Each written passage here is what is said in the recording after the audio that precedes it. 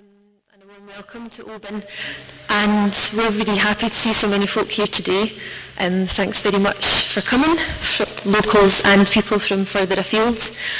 Um, special thanks as well to Lesley for encouragement from the start of our idea to have the People's Council event today. Um, as some of you know, it grew out of discussions online after the Castle Toward campaign and the ultimate negative decision that came through that. Um, but it quickly became bigger than that, bigger than any single decision or really than any single council and started to be more about the system of local democracy and the settlement that we've got in Scotland at the moment. And I'm sure a lot of us in the room just now feel that it's not good enough and it's not quite working. Um, I'm not going to say too much on that. Our speakers will do the rest. Um, a wee quick bit of housekeeping. So the programme, roughly, we'll have some speakers in the morning. We'll be in this hall all morning. There'll be a brief break. I would ask you to be really brief on your breaks because we've got quite a tight schedule. Um, we'll then go downstairs for lunch and in the afternoon you're in your different workshop groups which are in different classrooms. So we won't be back in here in the afternoon until the end session and we'll come back briefly for a sort of quick 15-20 minutes before we head off just for a bit of summing up. Um, if there's a fire drill, it's not a drill, it's real. Leave by the exits, down the stairs and out into the car park um, playing fields at the rear. There are toilets on this floor. If you go out here and then turn to your left, we do have signs, I think. Yes, we do have better signs now than we had this morning. Sorry about that. Um, and The other thing I want to mention is that we've got a pretty much gender balanced um, panels and speakers today and we're going to reflect that in the questions. So when we open up to questions from the floor we will be alternating between male and female back and forth. So a warm welcome to everyone to just put their hands up and get stuck in. Um, so without further ado I'll hand over to the chair of the first session, Stacey Failgate. So as Rona said, I think in terms of local democracy and its distribution, we're way out of step with the rest of Europe and with a lot of the world. Um, it's especially evidenced here in Argyll and Bute, and I think we're all agreed that there's a little bit of a crisis going on with our local democracy. But how we handle it and other examples are important. So our first speaker is James Foley, who is an author of Yes, A Radical Case for Scottish Independence and a founding member of the RIC. James's PhD is on Imagined Scottish Economy and his interests include community budgeting and the actual concept of community and local democracy itself. So he's going to give us a little bit on his own opinions of where we go. Yeah, okay. Thank you to Stacey and Rona and all the other organisers today for um, organising this magnificent example of the very topic that we are talking about. Um, I should uh, insist that um, these very much are my own views. They are not the views of the RIC, although I was a founding member of it. Um, I say that because some people might find some of the things I have to say today to be slightly contrarian, perhaps not. It's the first time I've made this speech, so bear with me and we'll see how it goes. Um, our topic today is the crisis of local democracy. We all agree that there is a crisis and that something should be done. And when I say that everybody agrees, I do mean everyone. It's a topic up and down every think tank and research institute in the country, and it's a topic across the chambers at Westminster. There's no shortage of agreement that local democracy is one of Britain's main problems. Many also believe local democracy can solve Britain's crisis. Local democracy is therefore something of a peculiar consensus that seemingly unites myself on the radical left with the likes of Eric Pickles, who, with a sort of Jacobin turn of phrase, has promised that his Localism Act will pull down the Whitehall barriers and in slightly less Jacobin terms assured us that bugbears like housing targets and bin taxes will be gone forever. It's a pretty peculiar consensus as well, where Ed Miliband, Nick Clegg and David Cameron all cite local democracy as their most basic value and the answer to Britain's problems in their maiden leadership speeches. It's a peculiar consensus and it causes me to wonder today whether there's really a consensus at all around local democracy and what it means, and whether we ourselves are clear about what we mean by the topic. So local democracy is in crisis, and local democracy has become one of the standard answers to the deeper crisis of British politics. And I believe that the reason for both of these things is the same. Westminster wants political representation on the cheap. Scottish local government is a centralised mess because uh, generations of so-called reforms have been trimming at so-called local government flab according to the equation that centralism equals more efficiency. Now today, when we're offered all these expansive visions from the likes of Miliband, Clegg and Cameron of local democracy, I believe that the intention is basically the same thing, to trim the state having made every possible gain from centralism in terms of market efficiency, in other words, politicians have turned to the volunteer as the icon of making more savings in the economy in a time of cuts. Um, to use an example that David Cameron himself cites uh, when he was introducing his big society agenda, roving gangs of pensioners could be used to clean up parks uh, ending the needless red tape of having to employ gardeners. Worried parents could opt out of mainstream schooling uh, and run their own academy, ending old-fashioned bureaucratic teaching standards.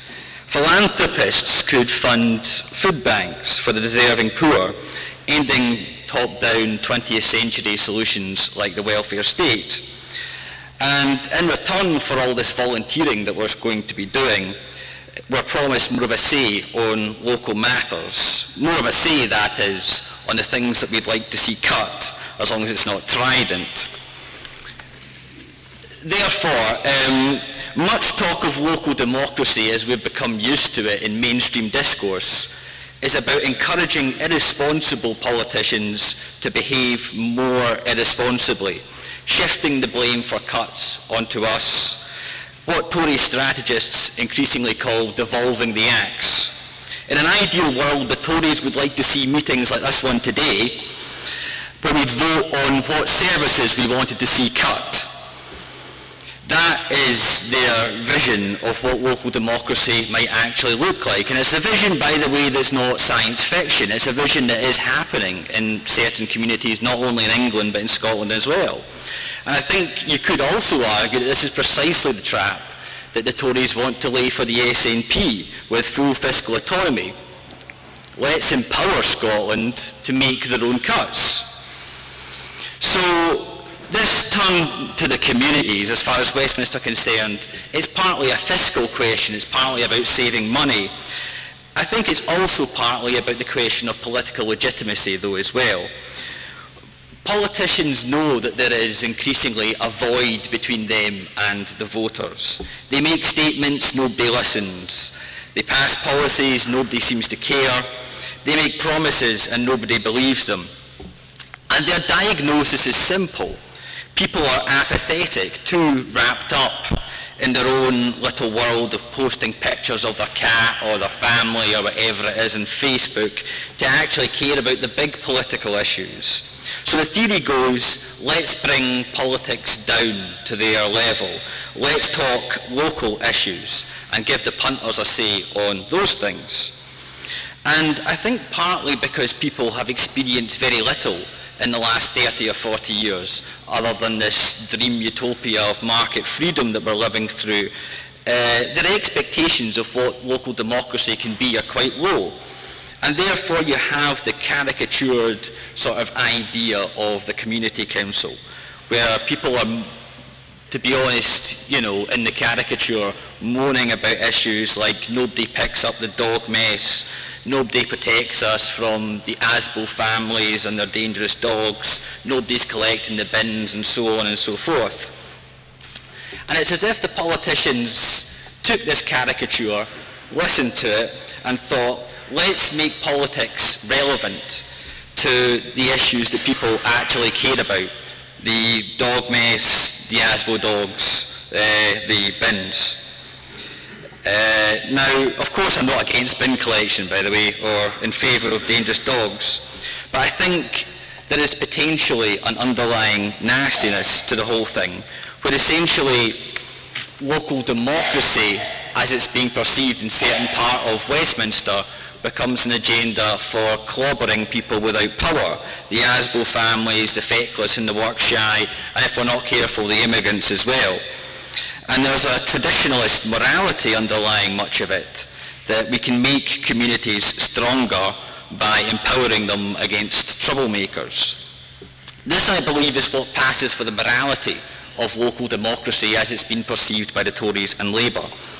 And one of the things I'm so proud about with our independence movement is that we weren't like that whatsoever. We were a million miles away from that caricature of local democracy. We were often defiantly local. We were almost always defiantly democratic. But nonetheless, we spoke about the big issues. In this sense, you could say that our movement was a rebellion against a certain idea of local democracy. Labour predicted, remember, Johann Lamont uh, being one example here, that people would get sick of all these grandstanding, highfalutin, big debates about things like constitution that people don't really understand. People would want to go back to talking about the bin collections or whatever it is, the issues that people actually care about on the doorstep. And rightly so, I think, Labour has been resoundingly punished for holding the voters in such contempt in this regard.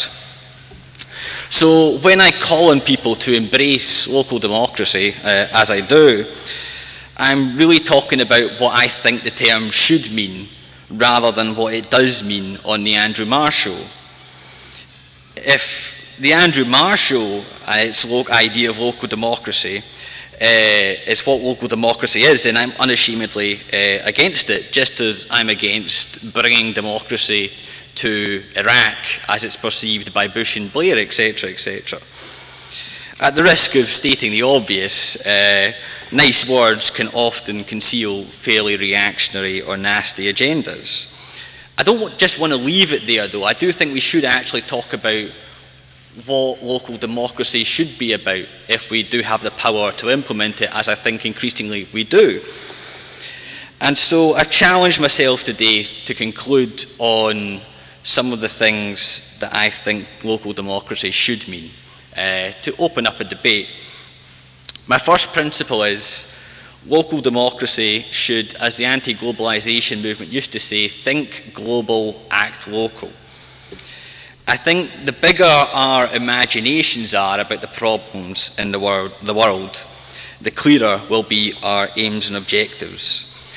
I think Labour suffered uh, because they took a mean and pessimistic outlook on the people they represented. People, and very often they got it. No matter how difficult it might be at times, I think we should try to do the opposite. We should expect internationalism, compassion and optimism from people we meet, and we should try to set the agenda by living those values accordingly. Secondly, I think local democracy should be a means to an end rather than seen as a solution in and of itself to everything. Which raises the question, a means to what end? Well, Labour made local democracy a despicable means appealing to the lowest values in people to a dubious end, electing empty suits and red rosettes. I think we need to turn the opposite way and insist that our agenda for local democracy should address the big ethical challenges of the 21st century, skyrocketing inequality and environmental devastation. And I think if local democracy isn't seen to be a means to those ends, maybe we do need a different concept to capture what our movement's goals actually are. Third, and quite importantly, I think local democracy should actually weaken local elites.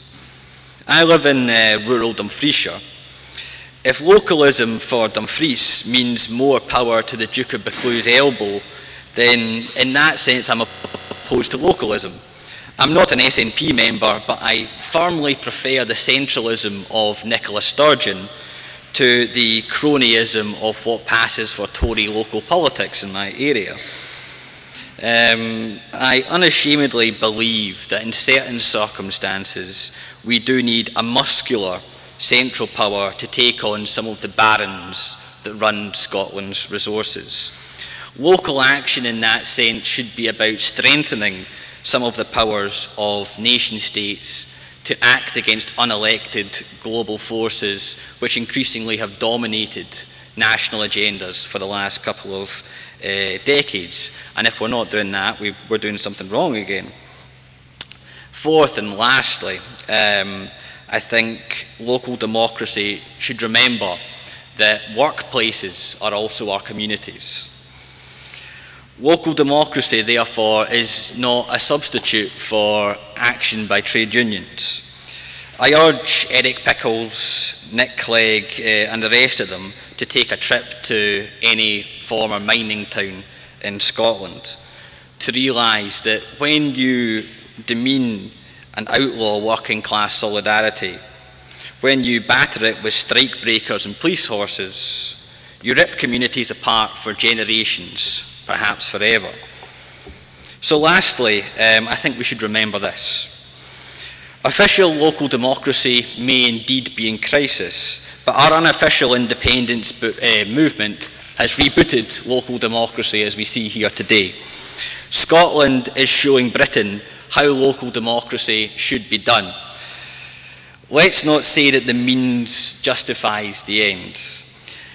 If trade unions have been outlawed, if people have lost hope in changing the world, if our laws are made by unelected lords and Tories we don't vote for, then our agenda for local democracy will simply echo Westminster's.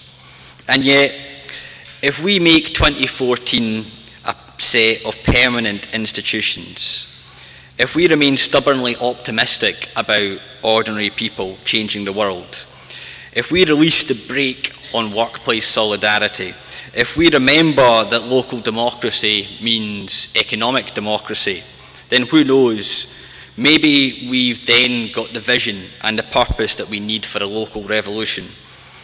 In an era where abolishing human rights is an election promise for some, local democracy needs to be a strategy, part of a strategy of emancipation. And I really do believe that that word emancipation in this context is not too strong.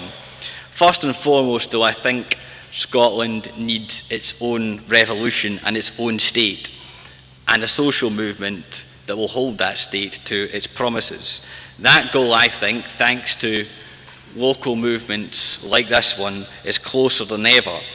For that reason, and perhaps for that reason alone, I'm confident in saying that I think Scotland will set new precedents for what we mean by local democracy. And pretty soon, the rest of Britain as well will demand its own democratic revolution. Thank you. Brilliant. Thanks very much, James. So next up, we've got Lesley Riddoch, who I'm sure needs very little introduction. Um, broadcaster, author, journalist. Her piece of journalism entitled How Not to Do a Local Democracy looked at the Castle Toward debacle in quite a lot of detail, and for a lot of us, I think kick-started some of this. So really interesting to hear what she's got to say. Thanks, thanks very much indeed. And um, what an amazing thing it is to be here on a Dreich June morning um, with about 100 people who want to sit and try to think how Scotland could have a better or a proper functioning local democracy system. So thank you so much for you coming. In fact, I'm curious now as to who's here from where. So who, who's in the hall from the, the borders in Dumfries and Galloway? The South? Righty. And who's here from what one might loosely call the Central Belt? Right? Okay, and then creeping up, sort of Perthshire across to, let's say Perthshire and Fife and Angus. Okay, and uh, Runabout here, Argyll and the islands. Good. okay, and, and the terrible Aberdeenshire. Nobody for Aberdeenshire. If only the crofting law had extended to Aberdeenshire, there would be a radically different profile, I think, for that part of the world. And the Highlands, grand. Orkney, Shetland, the Western Isles, right? okay, well, that's, that's tremendous. And I should say, maybe before we start, that you, you might or might not be aware that the reason we're all here today is actually two young women having a, a conversation and it's, it's important because, I mean, that was, if that was a first speech from James, what a future that the lad has, and we all have, because there's a, there is a new generation that's coming forward just completely fed up with what many of us have put up with for too long. And I mean, I think we should right now start today with a huge round of applause for Stacey and Rona.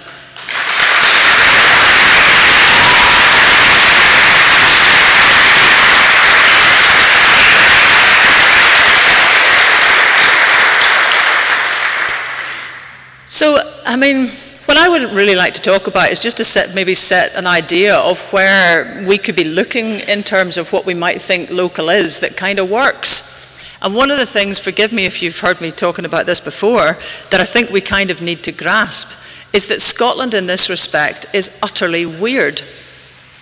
Now, I know wherever you grow up you think is normal, but Scotland is weird in so many respects if you start to look across the piece rather than up and down the piece. I mean, uh, if, you, if you want to think that success for Scotland is just doing a few percentage points better than England at stuff, you might be happy in this life. Uh, let's take local government turnout. The last local government elections in Scotland had a shameful 38% turnout. But the English local elections had a 30% turnout. Resulta mundo. Now, if we think like that, we're lost. And that's probably why we have been lost for a while, because that feels that we're doing nae bad. I mean, across Europe, the averages are more close to 70%. And Sweden has, an, had, last local elections, had an 82% turnout without compulsion. So, in so many respects, the whole of Britain is doing badly in terms of democratic muscle and health in fact, it's not doing too well in health altogether, and well being, and empowerment. All these things curiously regarded as separate, whereas obviously connected. So, the reason I've got this slide here for starters, um, some of you may know about my Nordic preoccupation. I'm actually doing a PhD at the moment comparing the, the hut traditions of Scotland and Norway. So, I fully expect to have four people come up at the end and say, Did you know there were huts in dot dot dot in Scotland? Please come and tell me that. Um, and I've also set up a group called Nordic Horizons that takes a lot of specialists over to speak. And it's been stunning over five years to hear how many different subjects they come to speak about which work for them because they have truly local control. Everything from energy supply, which then means, for example, there are no old ladies dying of hyperthermia in any of the Arctic based parts of the Nordic countries, you know, right through to housing, to you name it. It can work for them very often, even controversially, the police force. There's a single police force in Norway. The reason that works there and doesn't get people irked is because it is, it is embedded in the community by extraordinarily powerful municipalities. If you like, it's like a tent that has a 389 tent pegs. Our tent, sadly, I think, is flapping in the wind. So this is what I wanted to ask at the beginning. If we're thinking for the future of Scotland, what is good enough for it?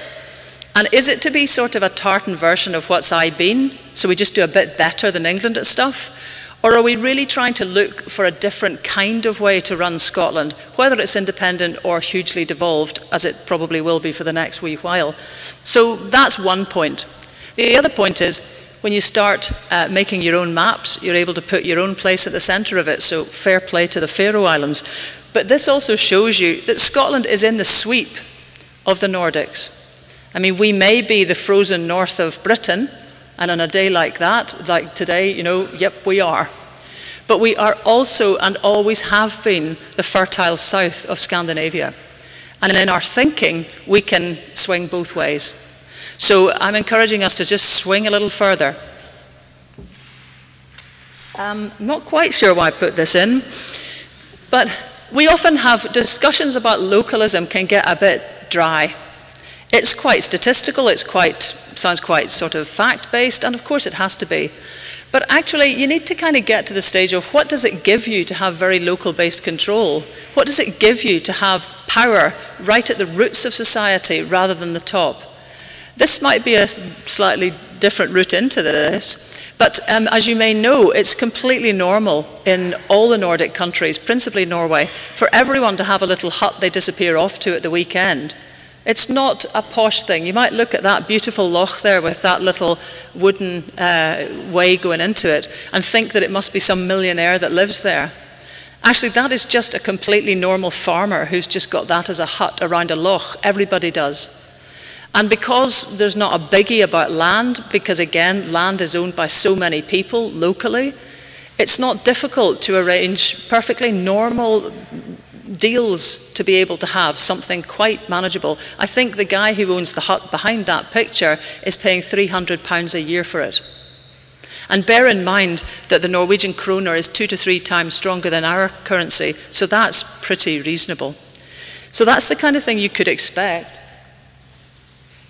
but not in Scotland. Now, I know this is touching on land and you probably can't read this, but this is when I came back from that holiday. I think I was cycling up the side of, I think, is it Loch Arkaig that goes up from where the monument is uh, near Spean Bridge and in. It's a, you know, it's a dead end uh, road. But all over it, there were do not swim, you, you cannot pass here, fishing wardens are patrolling. You know, that is the sign of a place where power is withdrawn by landowners which is another part of this. It's as if our local control um, was, was taken or has never been ceded to us because of large sporting estates, and our democracy has now started to mark that. So that actually some of the large councils we have in Scotland are the size of the estates, of those large sporting estates. Every bit of our control is as remote as another. And I wanted to stress how this local business really plays. Um, anybody been to Wick? Come on now, come on now. Yes, that's a bit better. And anyone been to Hammerfest? Well, um, Hammerfest is the, wor the world's northernmost town, and it's right at the top of Finnmark. Um, in a very cold winter there of about minus 50 or 55, the kids can throw boiling water into the air and watch it turn to ice. And whatever anyone tells you, Wick is not that cold. But, but back in, in the 1900s, as you can see here, these two towns were very similar. They're both county towns. Let's just knock Thurso out of the equation and say they are both the most northernmost towns in their country. Um, and they were both thriving. But then things changed, and what changed shows you quite a lot about the perilous state a lot of our towns are in today. Hammerfest was really transformed by able to, being able to get its hands on energy. In 1897, it became the first town in Northern Europe, arguably, um, to have street lighting. And you might think, so what? But if you've lived through uh, the Arctic winter at all, you'll know it's pitch dark and light matters. What they did was they put a small hydro system on a river at the back of the energy Energihuset here, and they managed to run five street lamps off of that. Whoa. And they, they funded it by a tax on beer, which the fishermen were a bit not that keen on. It actually broke down a year later, and there was almost a riot. It turned out that no one had ever put this kit in so far north, and they just hadn't insulated it well enough. So that when they put it back, they got a better drop, more electricity, and by 1900, every, every little house in Hammerfest had a light, whilst more sophisticated towns further south, like Wick and maybe Oban, were dark. Um, so these guys didn't stop there because they thought, well, actually, what would happen if we took that turbine off of the river and put it into the Kvalsund Strait? Now, this is it here on the right. It's a frisky little strait, that, a little bit like the strait that runs between uh, Glen, Glenelg and Skye. And they modified it. This is my pal indicating where the, the turbine was behind it. Uh, they modified the turbine, put it in, took measurements, shifted it about, yada, yada, yada. And the net of it is that next year, the turbines of the company which started the street lighting in 1897, Hammerfest their turbines will go into the water off our island of Islay to create the world's first commercially or tidally powered island. And it should have been us. Why on earth do we not possess that level of technology? After all, we're not living in a climate that is actively trying to kill us. And then you'd have to look at the, advantages that Hammerfest had over anywhere in Scotland. And the big advantage they had is they could touch the water. If you were trying to guddle around in a river in 1897 somewhere around Wick, you got your collar felt, to put it very, very mildly. In fact, let's not even talk about the past. If you want to meet a water bailiff in life, the easiest way is to walk up any of the rivers in the Highlands with something that looks like a rod in your hand and nae deerstalker on your head. So, all of that has created this huge disjunction between us and local power, literally so.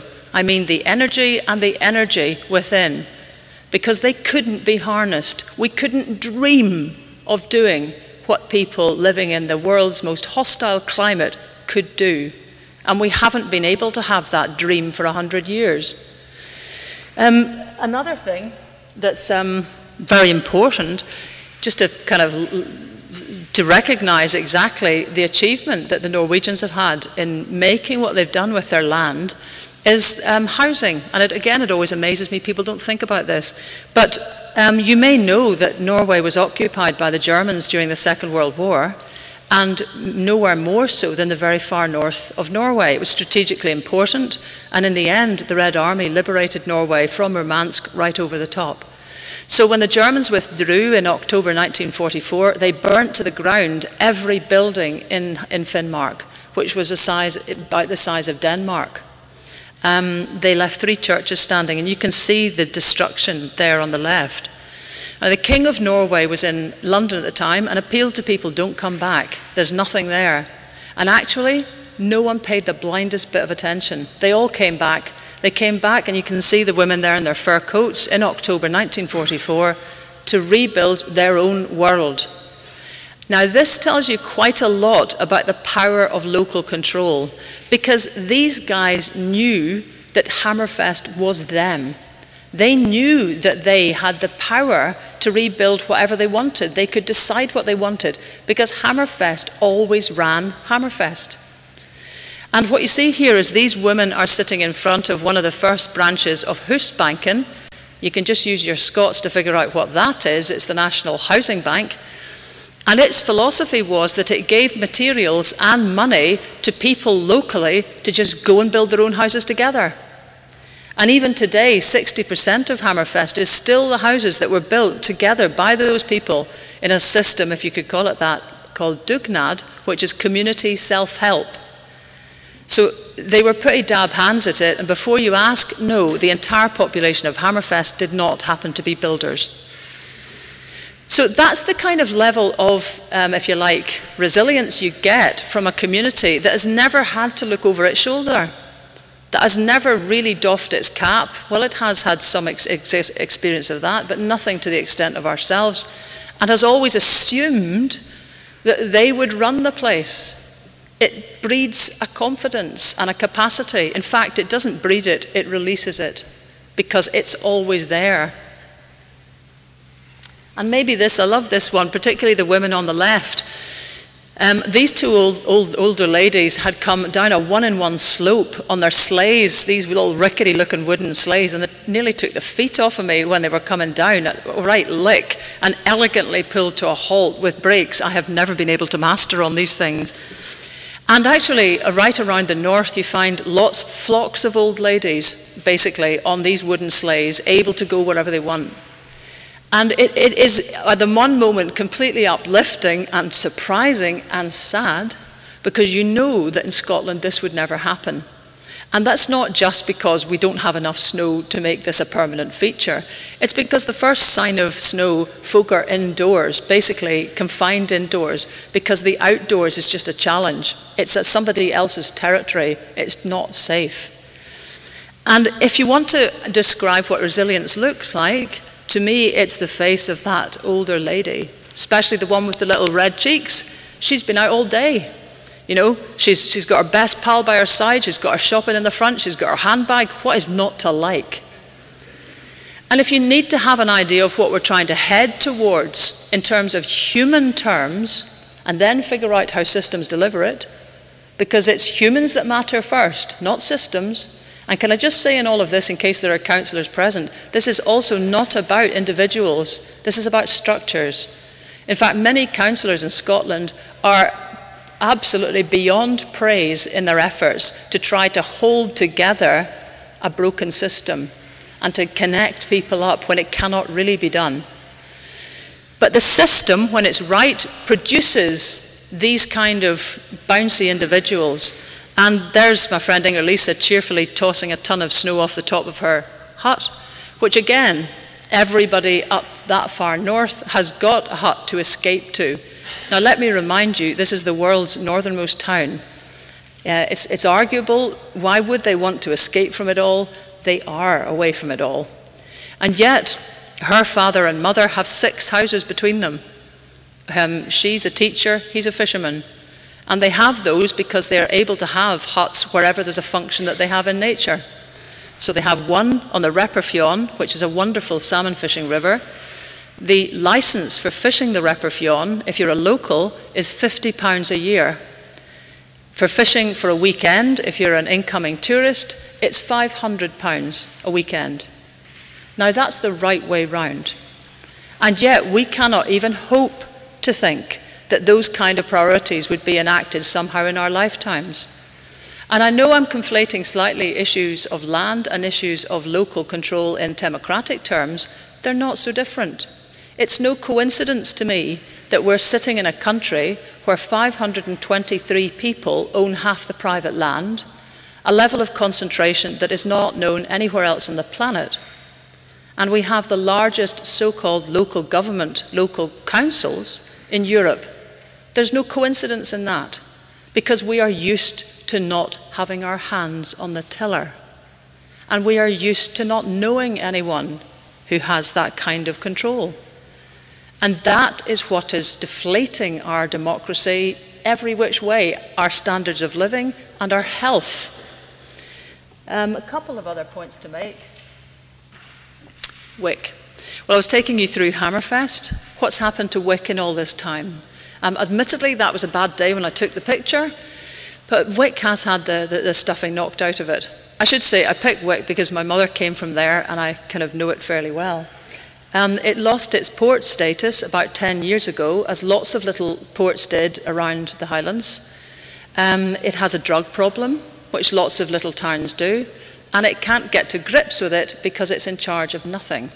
And this really brings us to the kind of nub of the problem in its structural terms, which is our so called local council map. Now, the one on the left is what we're familiar with, the 32 councils that make up Scotland, and the one on the right is what, what Scotland would look like if it had the European average size of council. Now, I get that you're a quiet audience, but I'm hoping that you spot there's a difference there.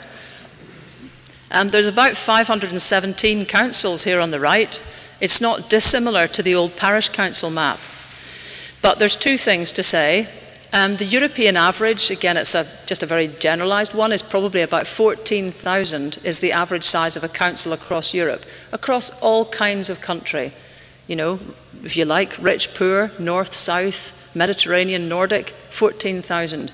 We are sitting on, at the moment, about 170,000. We are way off beam. But the other thing to say about this, and with reference to the parish council map, and a point astutely mentioned by James, is that we don't have a history in Scotland in every part of a sort of warm and fuzzy glow when we talk about local control, because too often it was fiefdoms. Um, if you look at Roxburgh Council, for example, in the borders, for 20 years the convener was the Duke of Roxburghe. And for another 20 years it was his big pal, the Duke of Buccleuch. Tasty. Which meant that for folk who lived there, these guys were their landlord, their landowner, their feudal superior, their employer, and they ran the council. And we call that local democracy? Come on. So, you know, for a lot of people, when they're reaching inside to try and find that, yeah, local, let's rev it up feeling, it might not be there. We need to create it. And there are plenty of examples in Scottish history of very powerful municipalities, however, but we don't know very much about them. I have to say, having tried to do very many, sub, uh, tried to do programs about lots of these things within the BBC and failing to get any of them through on the grounds that they were too serious, I eventually thought the only way it was possible to do a lot of this was to write a book. So there's much of this in the book Blossom.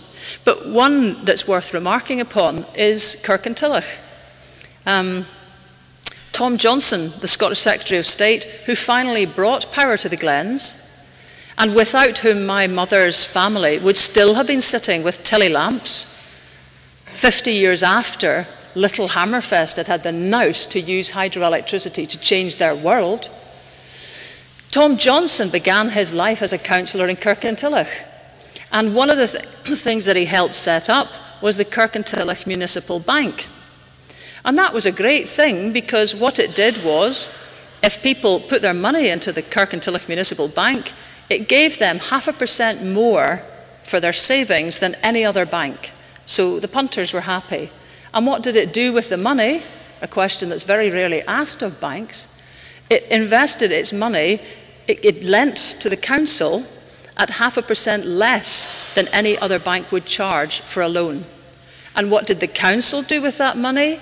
It spent it on services for the local people. Does anyone spot something that you might call a virtuous circle there? Because that's what people were able to expect in 1910. And how far we've moved from that model in what we expect from councils. If we were in Sweden today, not only would it be warmer, bizarrely, but anybody who earns less than £35,000 in the room would not pay a single penny to national government in tax. You would pay all your tax to the local government. And if you think that's a bit strange, as I did the first time I heard that, the guy that I was talking to said, Well, how do you do it? And then I wished I hadn't said anything. And I had to say, Well, actually, what we do is we send all our money off down to Westminster and then through gritted teeth, they send some money back to Scotland. And then through more gritted teeth, they send some money back to councils who most of us don't know because they're roughly two hours from where a lot of people live. And the guy said, and you think we're strange. But then he said another really important thing. He said, Don't you trust yourselves? But that's at the basis of all of this. Don't we trust ourselves? Because why else are we going through this ludicrous laundering of our cash and our democratic muscle? Why not keep it where it ends up? 90% of the services you'll ever use in life are used within five miles of your doorstep. And yet, the cash that's been used to service those facilities has done the longest circle of any pound note in history. And why have we regarded that as normal? Because Britain is a top down society. It fits the model of everything in our country. And that's why, whichever way you voted in the referendum, that's why this question of localism is not a wee small beer issue at all. It questions the notion of living somewhere whose values are top down, winner takes all, devil take the hindmost. No, over the peace. That's not what Scots want. We want genuine grassroots democracy. That's what we're going for. And to get it, we're going to have to do some structural change. Because the kind of benefits that you get from living in a lot of these right sized democracies arise from not having to fight the system.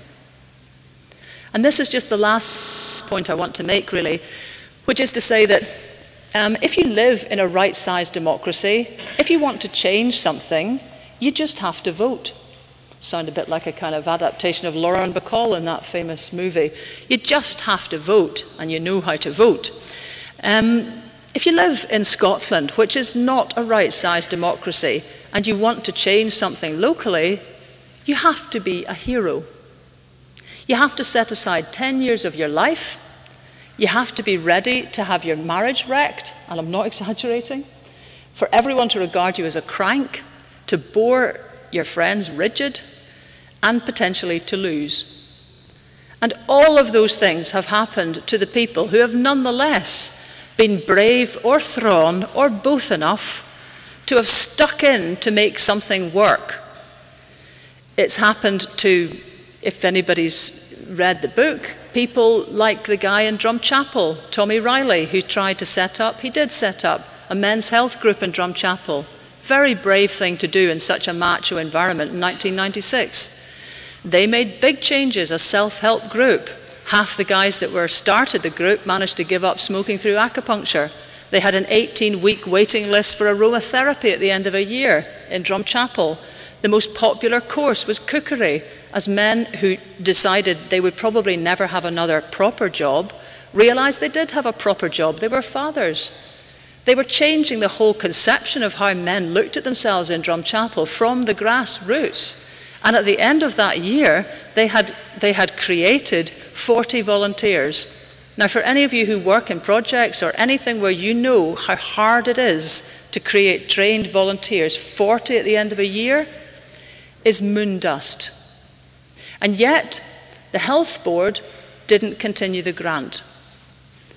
Um, not sure if the money even went into Drumchapel, and not sure why, because no, no explanation needed to be given, because from on high, it's just a number in a ledger. And the guys took it very badly, because it was their life. I lost track of them, and when I got back in touch to write the book, it turned out that Tommy, who had been the one who'd pushed to make this all happen, he was the only one who didn't drink before it all began, he became an alcoholic soon afterwards. Um, his marriage broke up. He was living on his own, and he died last year. Now, this happens too often. It is happening all over Scotland when people are trying to do something to correct the unfairness and the imbalances right on their doorstep, and the thing they run onto is not their own lack of time, not their own lack of passion. It is the system, and we can change it. Thank you. Okay, thank you, Lesley. So I think well, what I took from that is we need to be crystal clear what we mean by local democracy and what it can achieve, especially in terms of the human and the social. And we need to be acutely aware of the bear traps along the way. Any local democracy absolutely must mean empowerment in the heart of the communities and not just a more sort of local form of centralisation. So we're short on time. We're going to take questions, but I'd really appreciate it if we can keep it to one question each and quite concise. And as Rona said, we're going to do the boy-girl thing. Um, so just at the front there, Rachel will run over with a wee microphone for you. Um, hello. Uh, so uh, I am um, Swedish and I grew up in Norway. So I want to pick up a little bit uh, about what you've been talking about, Lesley. Um, now, I, I do think that it is that we should look towards Scandinavia. However, I'm just a little bit wary of talking about Scandinavia as some sort of utopia, and I think we also need to look at what they're not doing very well. Now, I come from uh, the southeast, and please correct me if I'm wrong, Lesley, but I, I think that you spent most of your time in the north. I mean, I know that you've been elsewhere too. But so uh, I want to pick up on two things. And one of them is when you're talking about taxes and paying your taxes locally. Where I come from is the most populated area of Norway except for the big cities. However, it's also commuter commuterville. So we don't raise enough money in taxes in, in Østfold, um, the county, and in Halden, my hometown, and we live very near to Sweden. So there's a big problem there, and it doesn't work, I think. The second thing I want to talk about is minority languages in Norway.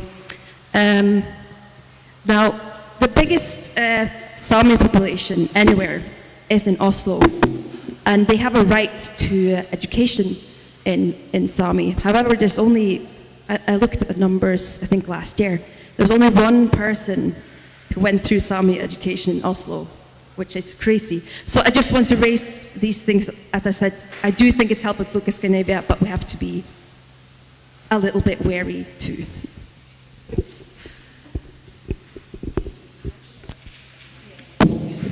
Okay, um, just the gentleman next to you there. Uh, Lesley, I agree with virtually everything you've said, but I would just like to know how you expect local democracy to happen when the turkeys won't vote for Christmas. Because one of the problems that I have often thought about, and I'm sure many other people here have, is that our mainstream politicians seem to have a view that is um, very demeaning towards the general population in terms of, we're too stupid, we're too un unintelligent to be able to grasp important aspects, and therefore they will not trust us. How do we address that? Because to me, it seems that's a fairly fundamental uh, thing that needs to be changed before we can make any real progress. I mean, the first thing, I totally agree with your point. Um, the first thing I would say is uh, perhaps the classic example that we're all familiar with uh, of contempt for the voting population is Scottish Labour and its attitude to the people that were continually re-electing them every time, where essentially we were just seen as fodder for electing Labour governments that were focused largely on Middle England and the concerns of Middle England and not on the people they were supposed to be representing. I, and I think the answer to that sort of thing is precisely what we've seen in the last couple of years. It's important to emphasise how far we've come. Um, they used to have all the cliches about monkeys and red rosettes getting elected in Glasgow and you know, now there's, sorry, pardon me, now there's, ah, that's much better. Now there's uh, barely a Labour MP left we can use the power that we do have to punish uh, politicians that aren't uh, that are showing contempt for the wishes of the public that they represent. I think, just as a side note on that, we should be equally wary about the SNP MPs that we've sent down to Westminster. We shouldn't, I mean, you have to remember that initially when we were sending down lots and lots of Labour MPs to Westminster, that felt like a liberation. Uh, it was only in 1955 that 50% of Scottish people voted Tory, and it's been a process of eliminating the Tories from Scotland over a number of generations. And initially, therefore, Labour grew out of a desire uh, for change in social democracy in Scotland. SNP, I think, has grown out of a similar frustration uh, with the Labour Party, but we should not make the mistake that we did make with Scottish Labour, which is to let them get an easy ride and just continually re-elect them for Parliament after Parliament if they are not representing our wishes. Uh, just, just to pick up on that point first, um, I think if, if you think in life that you have one more distant obstacle to overcome, people tend to want to have a kind of pretty steady ship. You don't want people quibbling in the background when you've got one long distance difficulty. And as long as Scottish politics is and has been about a constitutional issue with London, it tends to make this sound like pretty small beer.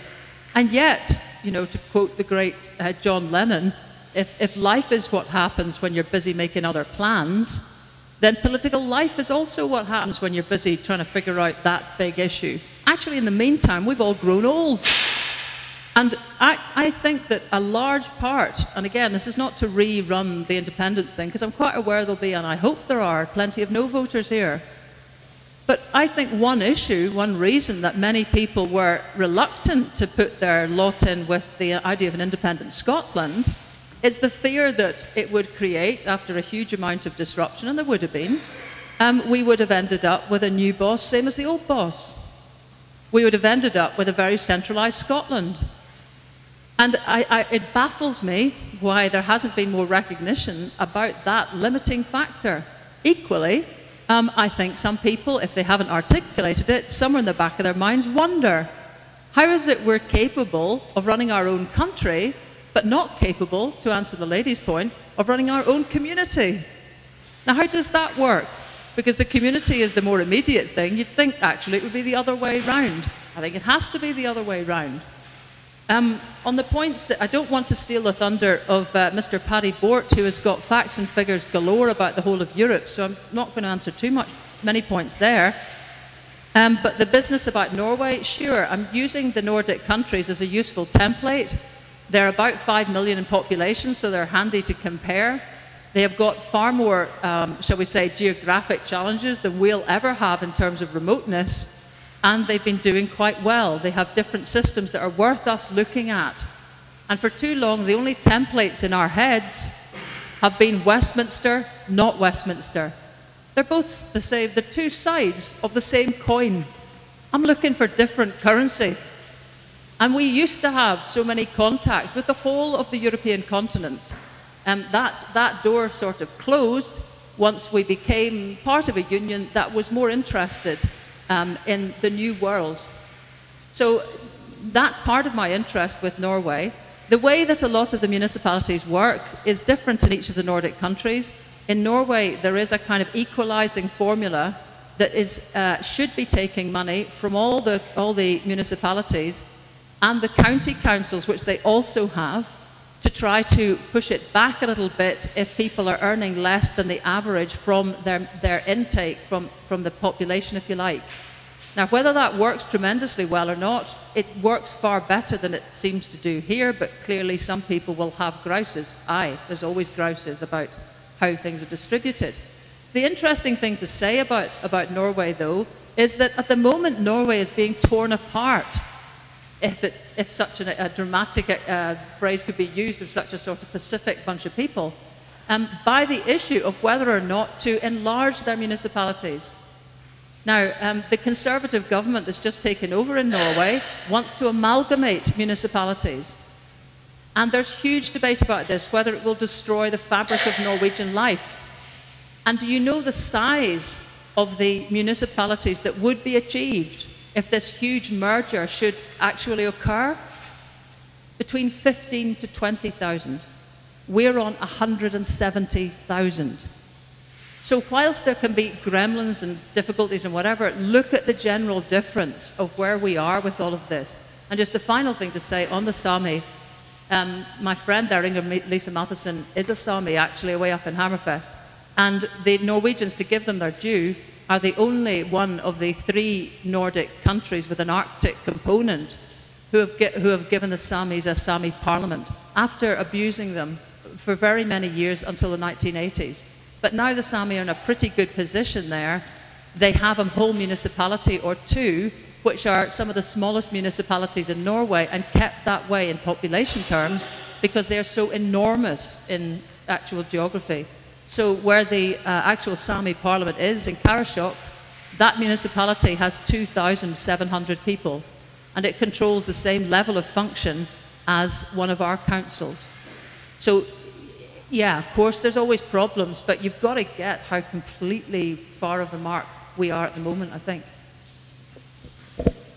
Okay, um, we are really tight on time, so that's it for this session, I'm afraid. Our speakers will be around all day, so if you've got any other burning questions, go and approach them at lunchtime.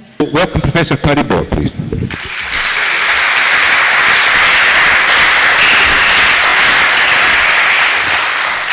Well, uh, John, thank you very much. Uh, less of the professor, perhaps, just a humble lecturer, you know. Yeah. Uh, and thanks for the invite. Thanks to Rona and the team for putting this all together. Well, you had the funky stuff with Lesley. You had swimming and skiing and all that sort of stuff. Hunting, you know. Now for the dry, boring uh, statistics. So what I'm, and I'm just following on where Lesley finished, that Norway at the moment is seriously considering concentrating its local devo uh, democracy, its local government structures. Uh, as Lesley said, they still will end up on a level that we could only dream of. Uh, but this uh, shows you that uh, the, the contraction of local authorities has happened all over Europe. We are not a total exception that it has happened here in Scotland as well, but we are in our own league, as it were. If you look at that, uh, that just shows 1950 to 2001. Uh, we have uh, all these other countries and the average population is shown there uh, with 3,000 to 20,000 and we on 170,000. Uh, we are just out of kilter and what I want to show you in a quick run through of statistics across Europe how out of kilter, how off beam we are in Scotland. Now let's bear in mind that it is perhaps helpful to have comparisons with England but as Lesley said, we should, we should concentrate here really on Scotland because since 1999, local democracy, local government has been devolved. If Holyrood wanted to change the situation or had wanted to change the situation, it could have done already. So we have to concentrate on a devolution in Scotland on a, a, better balance of powers in Scotland. What we have seen is, unfortunately, since 99, a furthering of centralisation in Scotland. Here is a table that gives you uh, the ratio between elected councillors and the citizens that they represent. And you see in Austria, which incidentally had, I think, four local elections in four of the the Länder in, in, in Austria this year, uh, and I'll come to it in a moment, with turnouts between 80 and 68 percent. Um, Austria, the ratio is 1 to 200. So for every 200 citizens, there is a councillor. Uh, Denmark is the closest to Scotland, but still, uh, because they have concentrated the most, probably across Europe, apart from the, the UK and Scotland. There it's 1 to 2,000, 1 to 500 in Finland, 1 to 125 in France. France has got 36,000 municipalities with 36,000 councils and 36,000 elected mayors. France, Germany 1 to 400, Italy 1 to 600, Spain 1 to 700 and Scotland 1 to 4,270. That kind of representation paired coupled with the powers that councils exercise and that they have over their own spending and over their own revenue, that begins to tell a story. Uh, we have the tiers of government and uh, the, the, finance, the finances that are uh, connected with it. And again, we have in the first tier, which is local government, we have Denmark and Finland and France are all in the 40s. Uh, we have Spain and uh, Sweden in their 30s and 50s and Scotland. At that time, when I put that statistic together, had about 20% of its revenue in its own responsibility. Unfortunately, uh, through eight years of council tax freeze, that has gone down to between 14 and 15% of responsibility in lo local councils. So we are really out of kilter there. Uh, that also shows in the proportion of the population that is standing in local elections. Now, uh, in, in, Finland it's 5.4, in Norway 4.8, in Baden-Württemberg 10.7. That, that's the population in millions. And then you look at the candidates in local elections, and you see that 1 in 140 stands in Finland, 1 in 81 in Norway, 1 in 41, 141 in Baden-Württemberg. That's where I originally come from, so I know it. I've played at the game. I was 15 years I spent of my misspent youth as a councillor in a small town in the south of Germany. Sweden, 1 in 145, and Scotland, 1 in 2071. So we do not utilize all these people who could stand or who would stand in local uh, elections and would put forward reasons why they would stand and why what they would want to do in their communities. We have just five, uh, we have just one in 2,000 of all Scots who is actually standing in local elections. And, sorry, that also is reflected in the terrible statistics of voter turnout that Lesley has already mentioned. Austria has an average of 70% of turnout, Denmark 72, Finland 58, France 63 in the latest elections. Germany has actually plunged, used to have 70, 80%, even 90%, but it's down at around 50%. And Italy is 68%, Spain 66, Norway 64, England 39 in 2009, 33 30% in the last one, and Scotland just under 40%. Now, these, these statistics taken together show uh, uh, uh, an image of off balance in Scotland that shows that we have the fewest candidates that are standing in local elections. We have the fewest representatives. We just have 1,223 councillors for the all of for all of Scotland. Uh, we have, in terms of candidates, just about 2.1 candidates per elected member, per seat that is to be elected. So every second one who stands in the election in Scotland is basically elected. That's not a huge amount of democracy and choice that you have there. But it also means that we forego the energies, the initiatives, the ideas of all those people who do not stand. We anecdote. Somebody in Wick, that has been mentioned earlier, so Wick plays a, an important part in all of this. Somebody in Wick said, hey, I don't like the way our community is going. I don't, I think there could be much more done in Wick, for Wick. I will stand as a local councillor.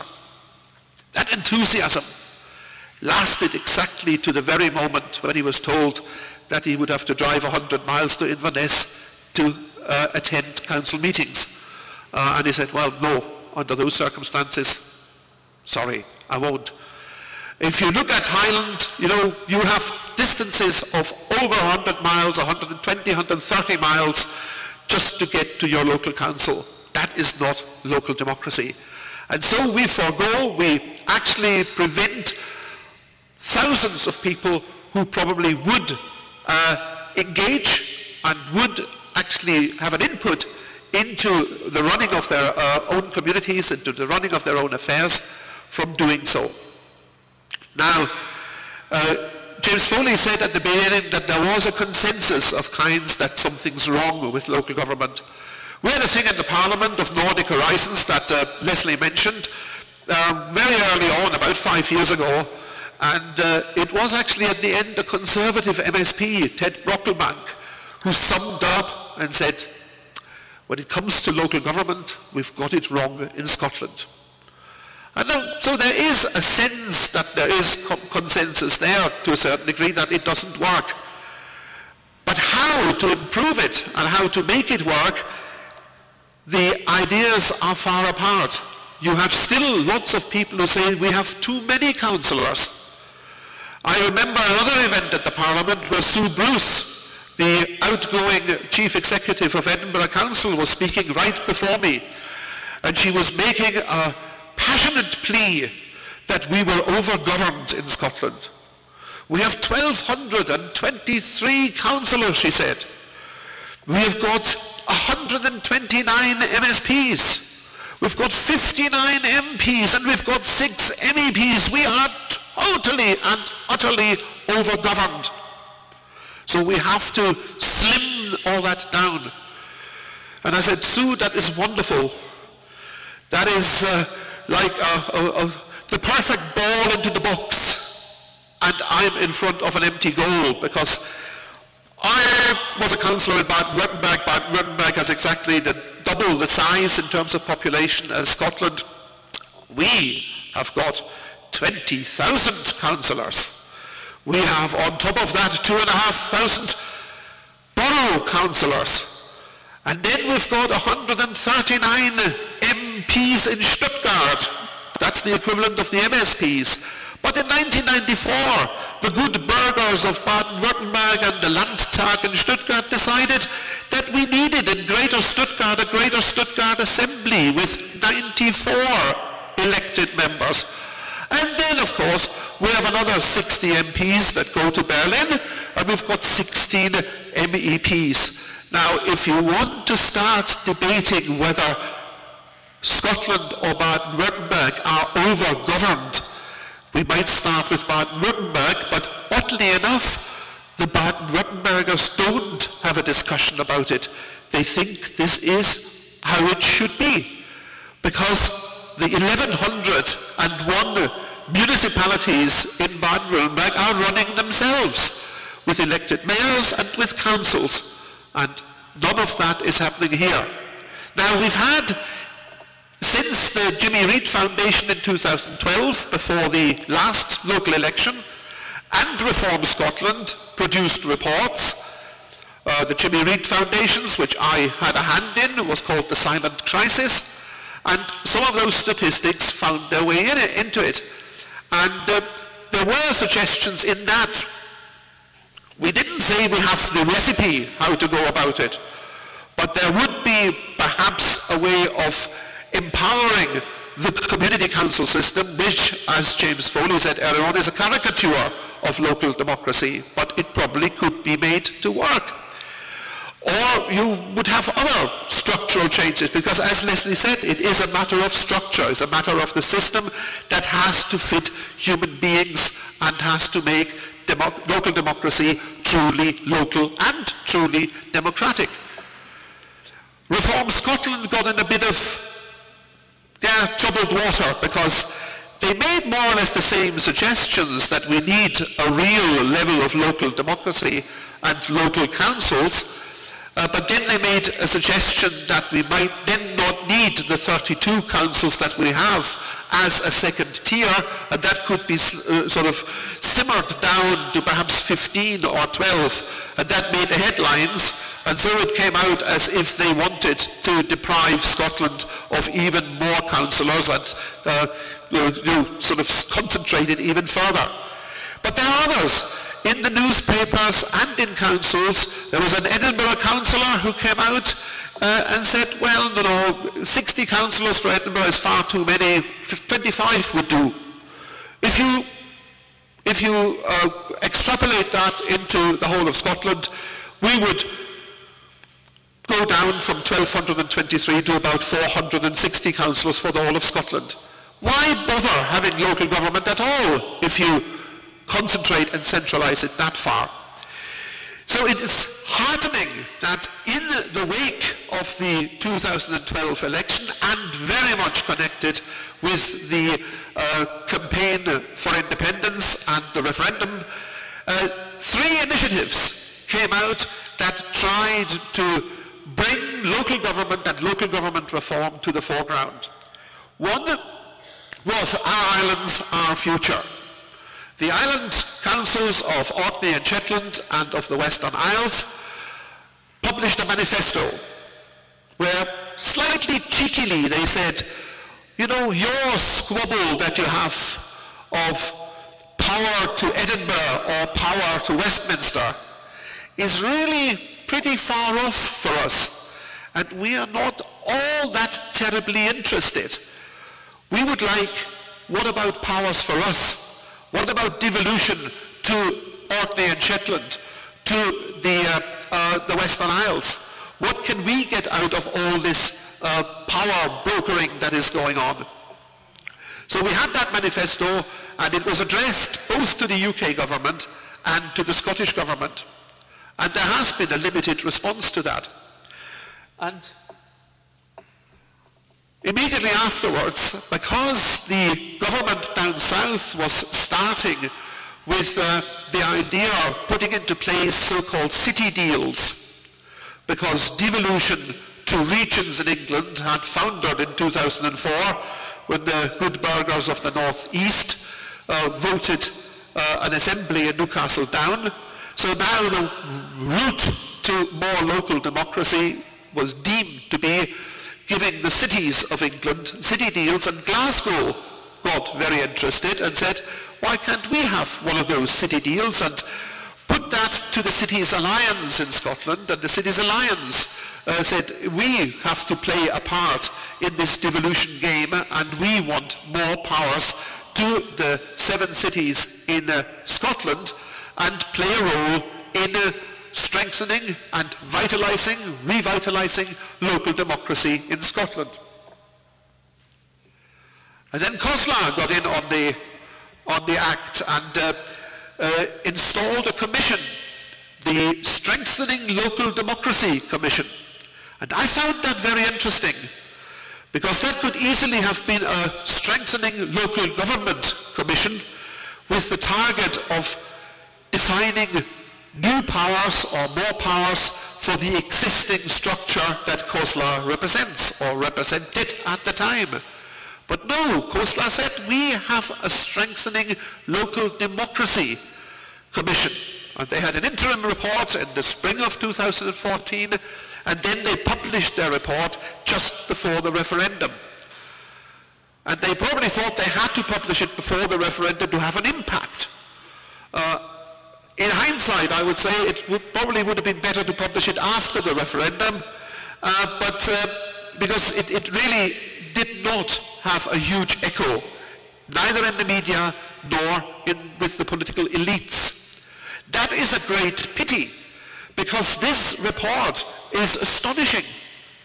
COSLA lays out, or the commission that it installed, lays out all the possibilities, no holds barred, everything that is wrong about local democracy in Scotland, and all kinds of options how this could be remedied. So it's not just saying uh, the power has been seeping from local democracy. Centralization has taken lots of responsibilities away. And that means that we get such low, low turnouts and that means that nobody wants to stand for the council because we basically have nothing to say. It's all done in Edinburgh. As somebody said, you know, we have been reduced to the long arm of the executive. We are just implementing here.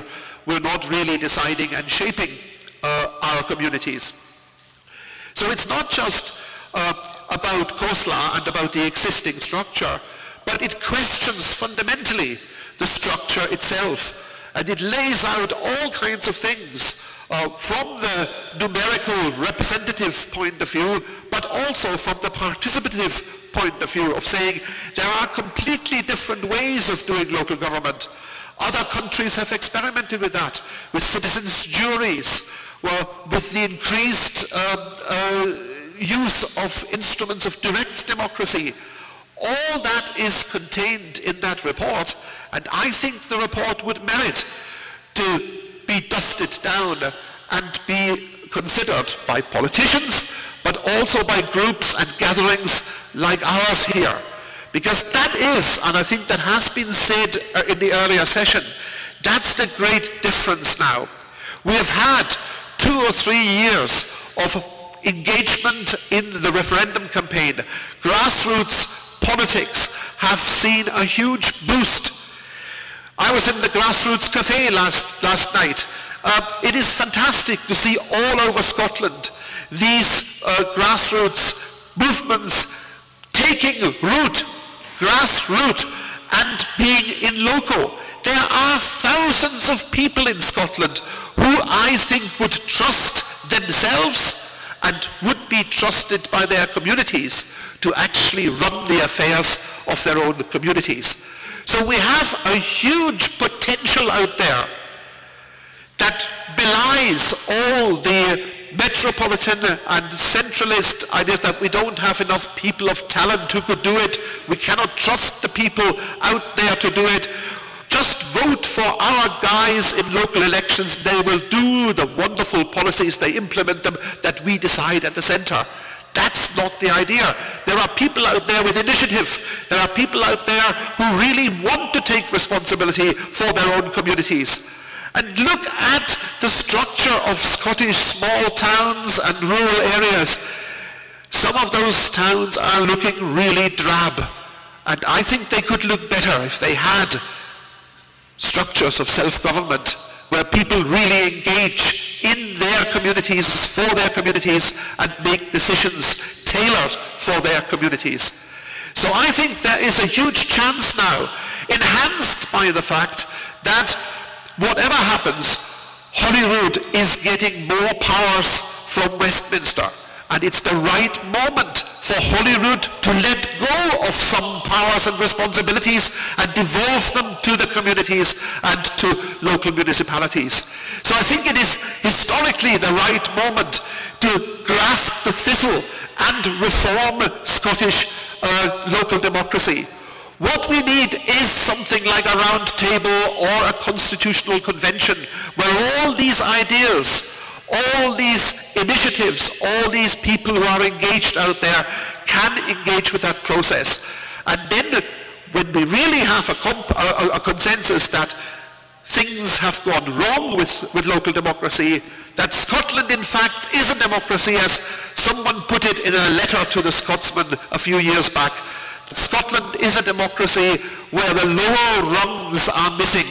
And so we are missing the laboratory of local democracy, but also the contact point where people, where Scots are actually experiencing democracy. What Louis MacNeice once called to see the end of one's action. If you are involved in making decisions locally, you see these decisions to fruition.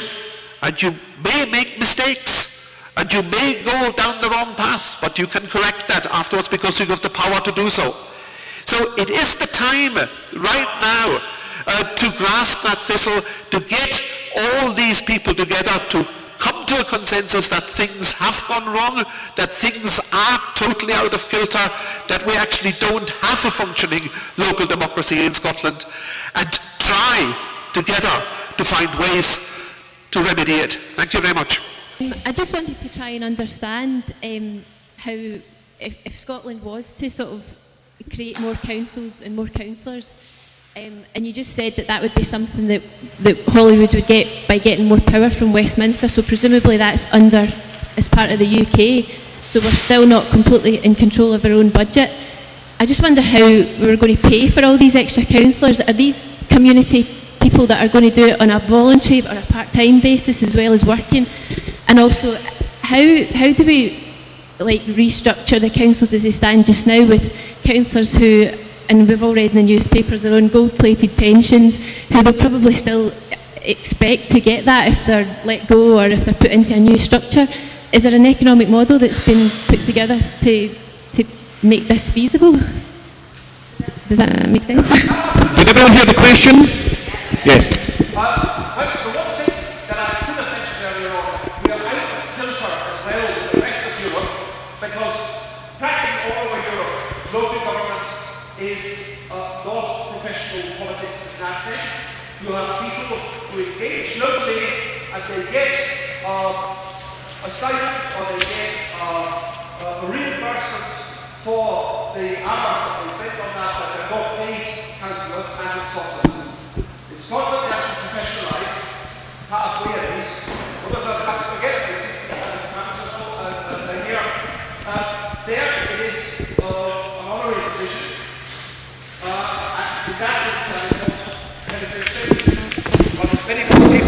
It is many more people who are engaged in uh, uh, local government and in their own communities. When you look at it, that you would have uh, probably when I go back to, to, to, to my uh, hometown experience, you would have three lists at least. Uh, and there are 22 councillors to be elected.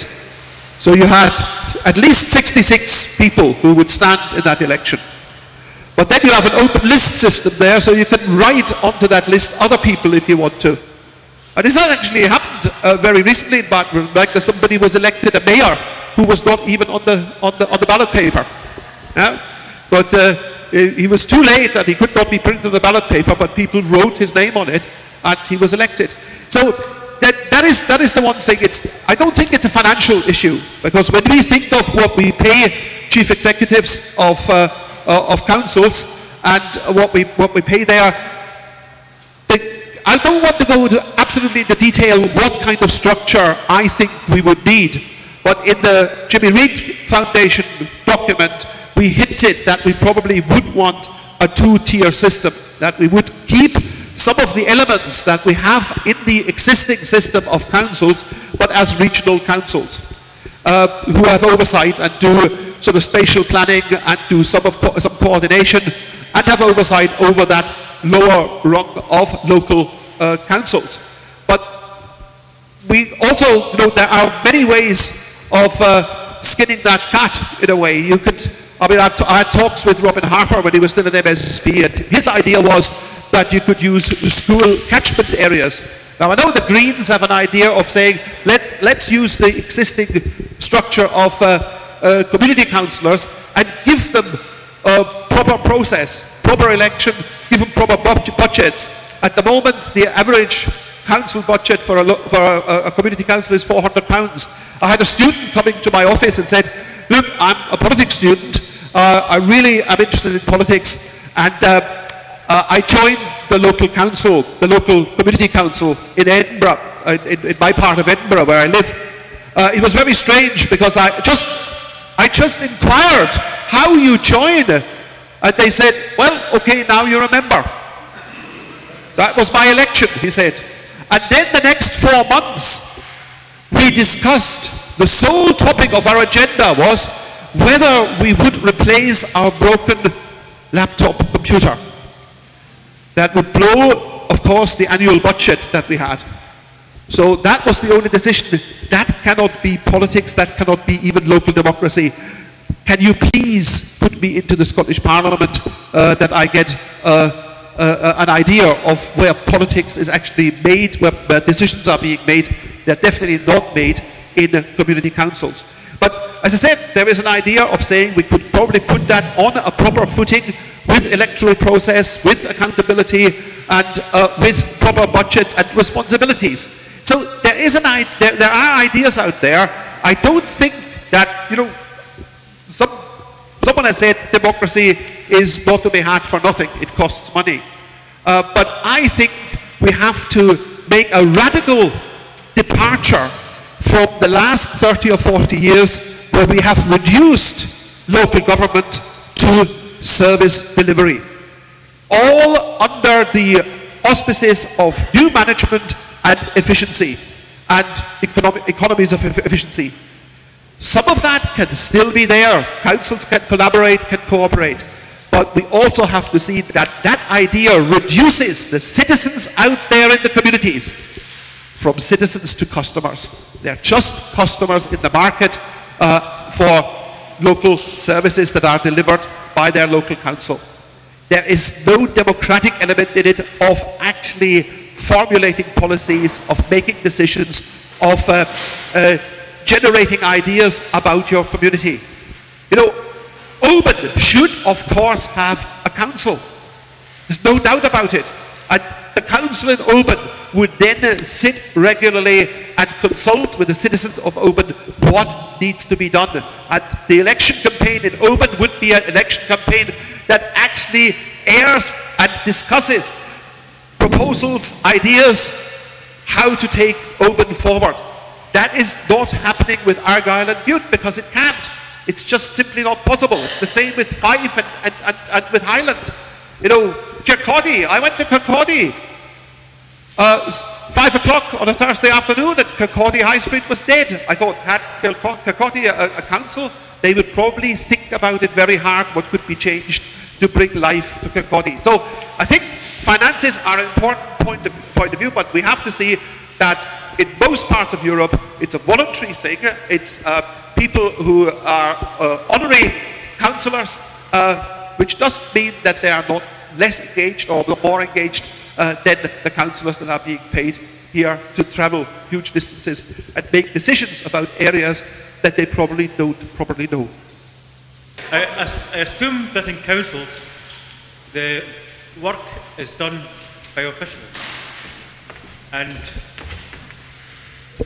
that's maybe the deficit with the community council. Is there anything you can access where you can get somebody like an intern, an unused graduate or whatever to work as a policy officer for a community council so you can assemble information and make a case and if they have that capacity perhaps uh, more switched on people might be able to make use of community councils. I mean, if you have if you have local councils, of course, let's say Oban had a local council.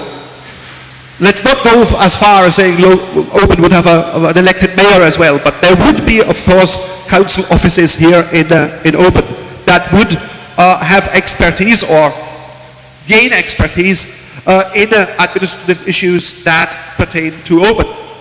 There would all also be either via Holyrood and the Scottish Civil Service or via a regional tier of local government, there would be uh, uh, pools of expertise that could be accessed. uh, for councils. They would not be left alone just on their own uh, to make decisions about planning and about all kinds of uh, structural uh, matters, etc. There would be, certainly there would be pools of expertise that could be accessed, but the decisions would be made locally. And I think that is important because locals tend to know best what their communities need. Uh, I was in Beauly last year, or was it the year before last, and I took a stroll on the Saturday evening along the River Walk. And it was a Saturday, wonderful Saturday evening, not quite as as uh, today. And the people, the good people of Beauly were out in droves walking their dogs. And they were very chatty, you know, Saturday evening. So we chatted about all kinds of things and walked along and we came to the pier. Now there's a fence, you can't even access it. It looks relatively new, although it was all, already half overgrown with weeds. And I said, what's this? And they said, they shrugged their shoulder and said, that's the pier that nobody wanted. Yeah? So Highland Council in Inverness decided in their wisdom that Beauly needed a pier. And uh, they built the pier. And it has never been used. And it won't be used. Because the people in Beauly think that it's not of use. They didn't need it.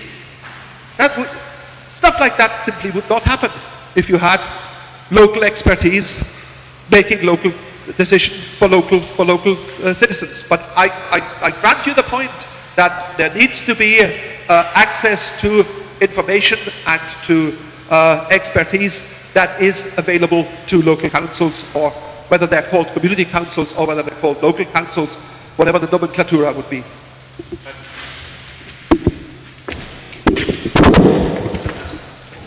Uh, well, um, ladies and gentlemen, uh, Cat is unable to, Cat Boyd from the Radical Independence Campaign is going to un, unable to join us for this session. She will feature in a, another session. So, uh, with the idea that you all go shopping in Kirkcaldy on a Wednesday afternoon and use the pier at Beauly for your boats, uh, can I ask you to thank uh, uh, Paddy Bort for his very interesting contribution and a lot of applause for Claudia. Many thanks. Okay, so I mean, really, I, I would just like to thank everyone for coming. It's fantastic to see such a, a brilliant turnout today. Um, I think there's a real energy um, in Oban and in Argyll around questions of local democracy and on national questions as well.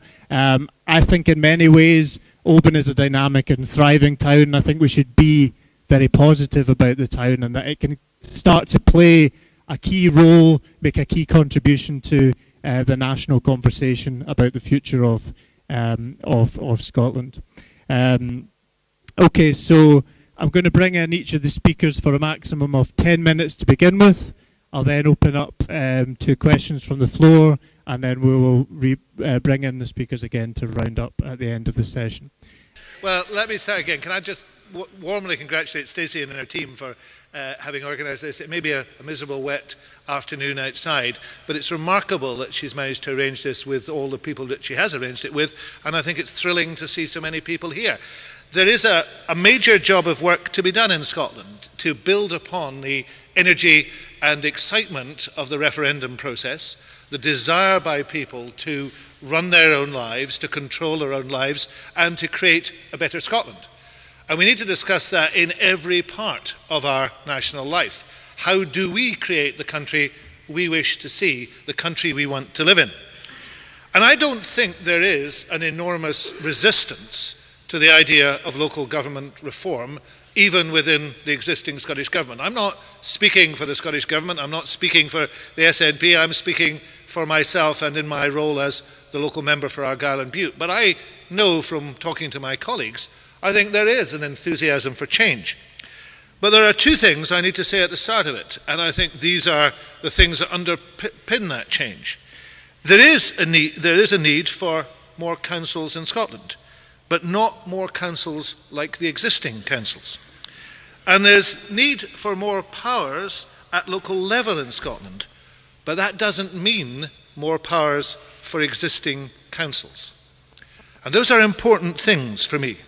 Because local government, for me, and particularly in Argyll and Bute, doesn't work. It's not delivering for the people of Argyll and Bute. And devolving more power to people who can't exercise the power they already have is not a good idea. So we need a new approach. We need to think about this in a different way.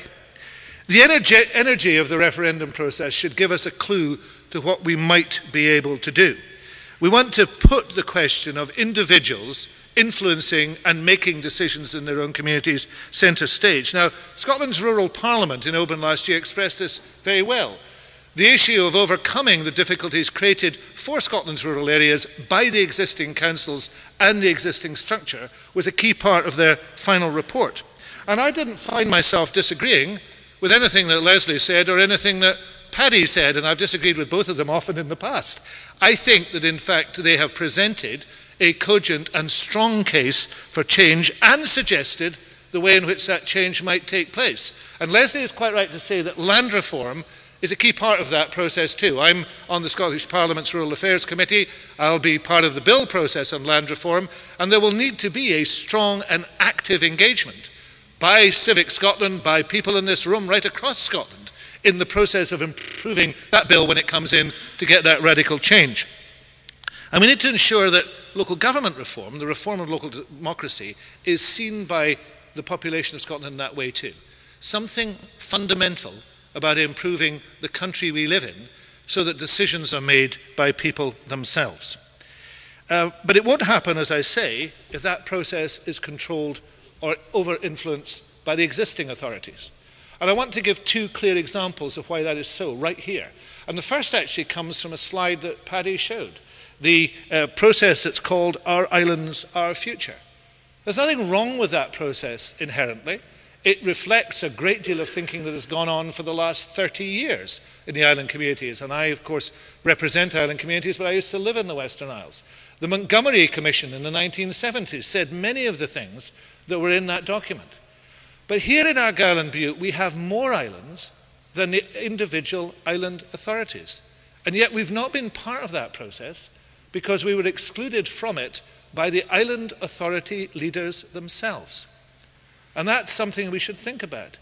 This process, Our Islands and Our, our Future, is not exclusively about opportunities for the islands, it's for opportunities for the ex existing island authorities. And that's not the same thing. A real process of change is needed in the islands. Some of the things being talked about are very important, but they have to include every single island in Scotland and every single Argyll island, and presently they don't. And another issue in terms of the involvement of the existing local authorities lies with the Argyll and, Argyll and Bute Council itself. There are many good people who work for Argyll and Bute Council. There are good councillors in Argyll and Bute Council. But Argyll and Bute Council is a huge hindrance to progress in, in this area and a hindrance to people being able to make decisions for themselves. And if you wanted any evidence of that at all, think of what has happened over Castle Toward. Castle Toward is an absolute disgrace in Scotland. In 12 days' time, the cost to the local community since the refusal to sell it is, will be £100,000. The council would have spent £100,000 on not selling Castle Toward to the people who wanted to have it, who were capable of running it, and who had an effective plan. But Castle Toward is just one of many instances in this area where the council, a distant council, works against local people. So we need to change that. We need to change it here and we need to change it across Scotland. How do we do it? Well, there is a possibility. There's a legislative possibility for the next Parliament, which would change Scotland's map of authorities and the way in which authorities op operate in the way that Lesley has been suggesting. Power very, very much uh, devolved down to the lowest possible level in Scotland, power and budgetary control, and exercised well. And I'm enthusiastic about that. But that's going to take a while. An election, the uh, consultation, the preparation of a bill, at least the work of a single parliament. We could make a difference in Argyll and Bute tomorrow. And we could do it within the existing legislation, which is to take the five area committees which exist, each of which are roughly the same order of numbers as Lesley was talking about, about 14,000 uh, more or less. The Council could decide to devolve all its power to those area committees. Those area committees could be enhanced by the addition of members of community councils, again, perfectly legitimate in terms of the existing legislation, and you could create strong, localised decision making in each of the five areas of Argyll and Bute within a matter of months. It could certainly be in place by the end of this year. Now, I've written about this, I've talked about it. Vivian and I have been discussing it lately. Michael Breslin, who is here, has drawn up actually a very clever and careful scheme for it to happen. All that requires is for the council to say it should happen. And there's the problem, because turkeys do not often vote for early Christmases. But the reality is it could take place. And if it was in place here next year, it would also be a good template, exemplar, example, experiment to see whether local decision making, how local decision making would work and how we could extend it further. I wrote a piece about 10 years ago under the title Back to the Boroughs. Uh, not a lot of people reacted strongly or favourably to it, but I believe for a long time that the era in Scotland where you could in a sense, put your hand on the shoulder of the man who was responsible for switching on the streetlights, where there was real local accountability for decision making, was something that we should go back to. That doesn't uh, negate some of the things that have taken place since. A single police force, as, as Liz has indicated in Norway, works well because it is anchored in local communities. I think we're on the verge of a huge and productive change in Scotland in making sure that democracy is truly local and as somebody who represents this constituency on a national basis, that excites me, and I think it's the right thing to happen. Thank you. Thank you. Um, good morning, everyone, or good afternoon. I've lost track of time already. Um, I really don't want to repeat what Mike said, and I don't want to tackle the issues that have been discussed so eloquently earlier this morning by our speakers, giving us a great deal of food for thought, and I'm sure that will be covered in the workshops. Um, but what I really wanted to do today is to endorse what Mike said about devolving power back down to area level. And I think that is the start and the first start along the route of local democracy. But what I really wanted to do was to share a little bit of insight um, as one of the councillors on Argyll and Bute Council. And I'm pleased that I'm joined by some of my colleagues here today um, because we all share that vision of trying to change things. And I just really wanted to take you down the route of what it actually means to be a councillor at the moment on Argyll and Bute Council and what we need to change. Um, the issue of devolving to area committees, yes, we need democracy down at local level where it's accountable. Uh, but I'll give you some other support mechanisms that I think need to come in place to support the councillors who want to do a good job and some of us there are trying to do a good job and I want to share with you some of the impediments that make it impossible for us to deliver on what the electorate actually uh, invited us to do when they were, uh, gave us the mandate to go off to Kilmory and make a difference. First of all, though, I just made a few notes from things that happened this morning uh, from our various speakers, uh, not on the wider strategic issues, but just on some basic points. Um, Lesley said people are fed up. Well, I can tell you there's a lot of councillors on Argyll and Bute Council fed up as well, and there's a lot of people out there in the communities. And I know we have people from uh, all over Scotland and some from further afield here today, but I'm sure that what happens in Argyll and Bute is indicative of what is happening in other areas. Perhaps a bit extreme here. Um, we tend to do things at the very limit. Um, and uh, but there'll be ideas for you to share. First of all, we are definitely out of kilter with our communities in every way. For example, Castle Toward, the community handed in a 10,500 petition to the council at the start of the council meeting to determine Castle Toward. The provost said, thank you very much, put it under the counter, literally, and we've never seen it again. 10,500 people were later to be proved wrong because the council knew better than the 10,500 citizens. And I did learn something this morning that I tend to talk of um, residents that I serve as customers of the council. But I was reminded this morning, of course, that they're not. they're citizens of the council. and I will try and remember that terminology in future. But Argyll and Butte Council doesn't recognise citizens or customers anymore uh, because it's moved into a mode where it knows best. On the figure of um, councillors uh, and what councillors are like, well, you'll be pleased to know that from the last survey, the gender balance needs a bit of redressing because 73% of councillors elected at the last election are male and white. And we definitely need to do something about that. I've sat on many a committee in Argyll and Bute where I'm the only female present. Um, the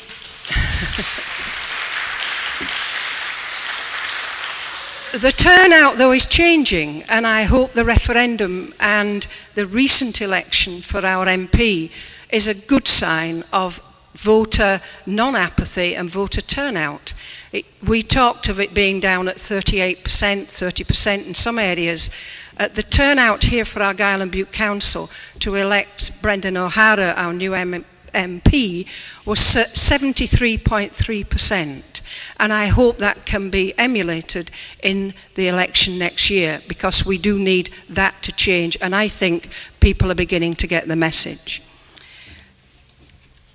On the radical reform agenda, let me first of all state very clearly that I think the issue here is Argyll and Bute Council has forgotten the basic mantra that COSLA came out with in the document that we were shown this morning, that communities empower governments. Governments do not empower communities.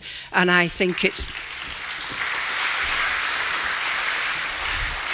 I think it's one of the sad reflections of where we are politically that we're actually having to bring in a community empowerment bill.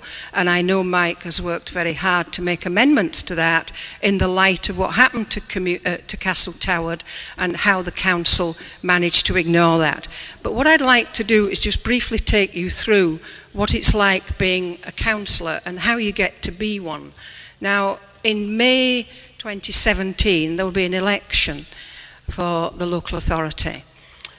In March, there'll be a notice of election. Anybody who is resident in the country can apply for that job. All you have to do to apply for that job is to fill in a form with your name and your address and it has to be signed by a witness and you have to give your electoral roll number. You do not have to state any qualifications. You don't have to state a CV. You don't have to say what you're going to bring to the democratic process. You fill in the form and then fund your application uh, and your election campaign. As you move through that process and you finish up finally get, getting elected either on a party ticket or an independent ticket, you then head off, as was said earlier, to represent your local citizens. The first thing you have to do is to travel, as I do, 170 miles round trip to head office and you have to do that regularly or you're not part of the scene. That is absolutely ridiculous. We have removed local democracy from area committees and centralised it in Kilmory. And unless you are there and taking part in that, it is extremely difficult to change matters. The, once you are in that position, what you make of it is up to you. Now, can you imagine anywhere in this country applying for a job where you don't have to turn up, you just send your apologies. You don't have to join any of the committees. If you're off sick, you go on indefinite sick pay. There's no time limit. There's no job description. There's no qualifications needed. You don't have to bring an intellect to the table. And yet, people like that can sit round a room determining a 250 million pound budget which care homes they're going to close, which services they're going to cut. And the highlight of that, from what I heard yesterday at the seminar about the service choices, or oh, that's council cuts in everybody else's language. What happened yesterday, the councillors who were present were invited to put stickers, red or green, to say which bit they thought they should cut. Now that's democracy in action in Argyll and Bute. Now what needs to change? There are many councillors out there that do a good job. We're not all tarred with the same brush, I hope we're not. Some of us joined for exactly the right reason, and there are many, many good people out there. But what then happens to the good people? What happens to the good people is the code of conduct ties you up in knots. The officers use it to make sure that you cannot exercise your democratic voice. And if you do step out of line or you're out of kilter, then what they do then is they move against you. They invoke the Standards Commission. They, in some cases, as they have done recently in Argyll and Bute, report councillors to the Standards Commission for breach of the Code of Conduct. So it's like trying to do a job for which you feel you are qualified, for which you do have the intellect, with your hands tied behind your back, because the officers have ultimate control through the Code of Conduct. So the second thing that needs to change, apart from devolving down to local authority, local level, and making democracy at local level totally accountable because you can be seen to be in action by your local communities. Councillors also need protection from officers who abuse their position. And currently, there is nothing in place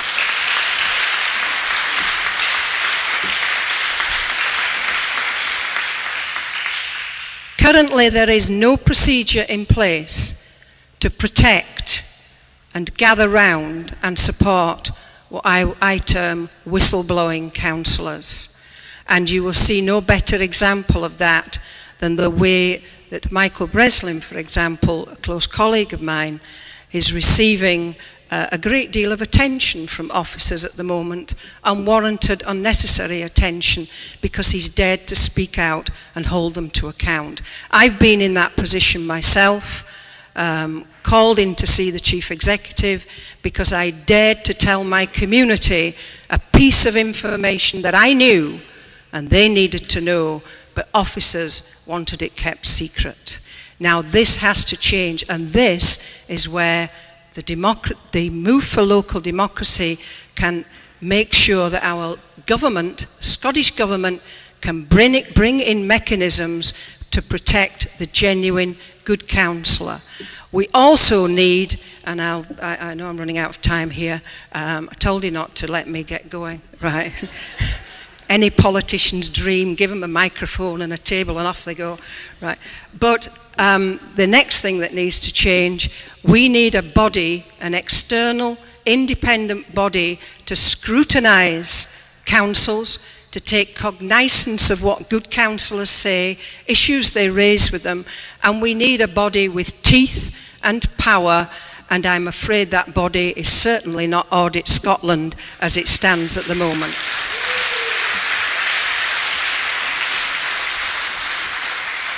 So my grassroots movement for local democracy is really threefold return to the area committees, and Mike has covered that, and we agree on those principles. Um, as he said, Michael Breslin has prepared an excellent paper on that, and I endorse that and support that wholeheartedly.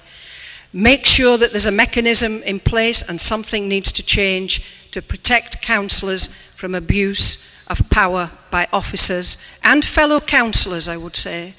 And thirdly, to make sure that if Audit Scotland isn't fit for purpose, it's either beefed up or another organisation is brought into place. Thank you. Thanks very much to Vivian for what was an enlightening, uh, very measured and quite restrained contribution and I'm sure um, there are many councillors who are working under conditions which would be uh, maddening. Uh, so finally I'd like to invite Lesley Riddoch um, to speak for five or ten minutes. Um, I think I'd like to. Is, is Michael Breslin in the house? Right. I'd, I'd, quite like to give. I just want to say a few things, and then I'd like to give my time to Michael um, because it strikes me this is you, you, you're much more at the sharp end of this. I mean, do you have five minutes worth of something you'd like to say? Think about it. Right. Okay. Um,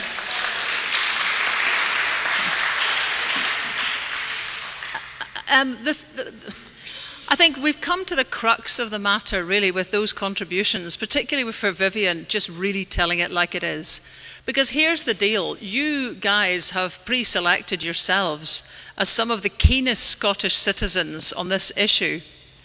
And I wonder how many of you, having heard all of this now, would want to stand for election as councillors.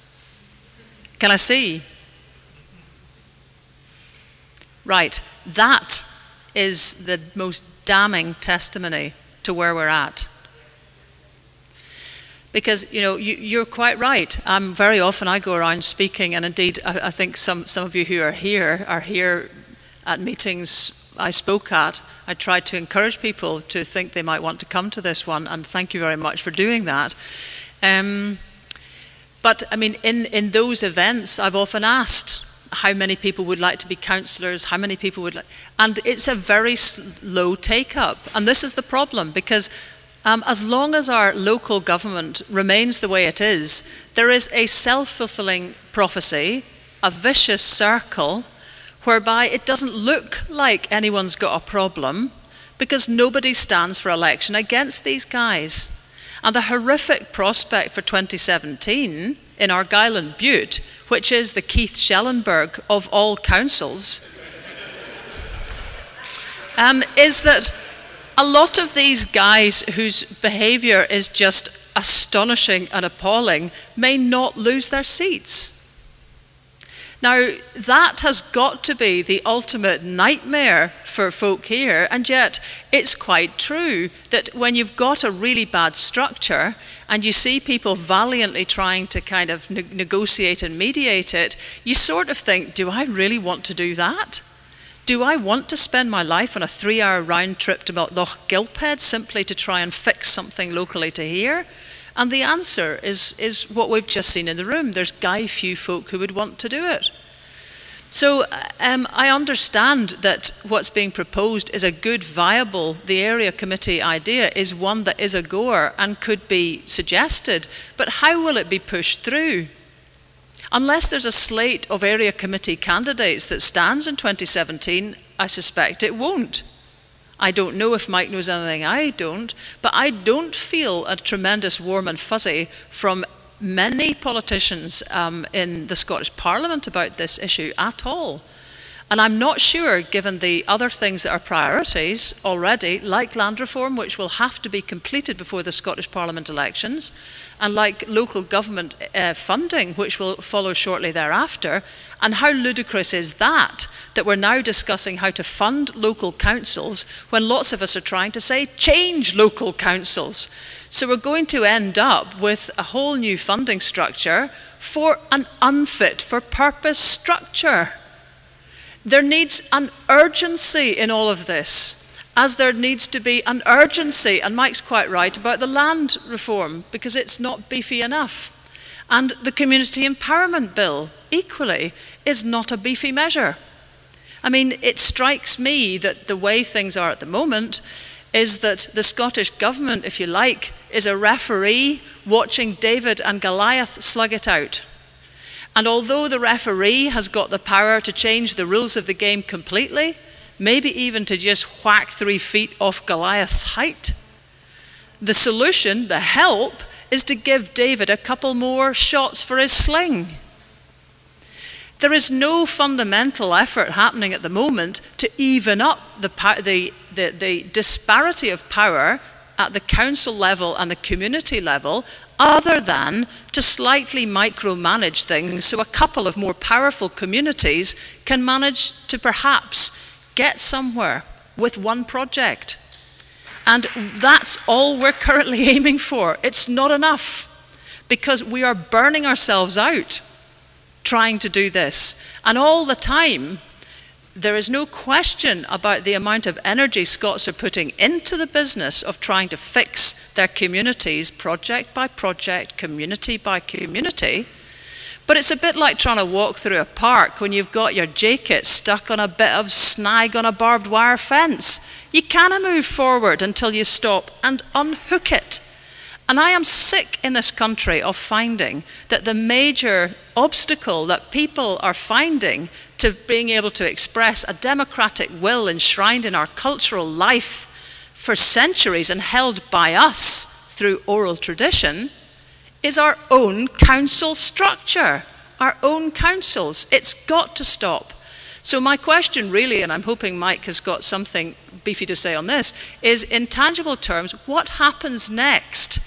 How do we manage to do something different by the next council election with the cohort of you here, who most of you are from Argyll and Bute? It's a good place to start, right enough. I think we need to get quite tactical quite quickly to decide what kind of move could come from this assembly today. Mike. Well, this is what they call being asked at very short notice to speak. Um, let me tell you that yesterday exemplified everything that is wrong, and because it's going to get worse. Um, after a lot of pressure on the council leadership, he called at short notice um, a seminar for elected members. There is a seminar uh, every the first Monday of every month and I had asked months ago that we devoted three or four months to the forthcoming budget cuts. And that wasn't agreed, but eventually yesterday's seminar took place and it wasn't on the day it was supposed to be. And I think Vivian Dance said to me that was probably changed in order to minimise the attendance, and it possibly was. But thinking about the way that the discussion's gone this morning, and about more power going to area committees, the reverse is likely to happen. Yesterday, they put up a proposition that they removed the council's governance and law staff from area committees, implication being they will be wound up. Secondly, um, there's an additional uh, council tax levied on empty properties and there was half a million pounds that was uh, uh, um, allocated for that for the area committees and they agreed that that would not happen. Now who decided it? I don't know, but they've taken the half a million pounds away. So the area committees won't get any money and therefore they won't be able to do things that are local, they won't be able to respond to things and in fact they may not even be there. Now that happened yesterday. And in the charade that the council um, provided for us yesterday, they covered all of the budget lines, hundreds of them, and gave us, they talked at us saying, we're cutting this and cutting that. And at the end, it is true that they handed out yellow, uh, green and red stickers to put on the pack that they'd given us at the beginning of the day. I refused, called it a parlour game, to which Councillor Morton from Helensburgh took great exception. And myself and Councillor Ian McLean walked out because there was no point.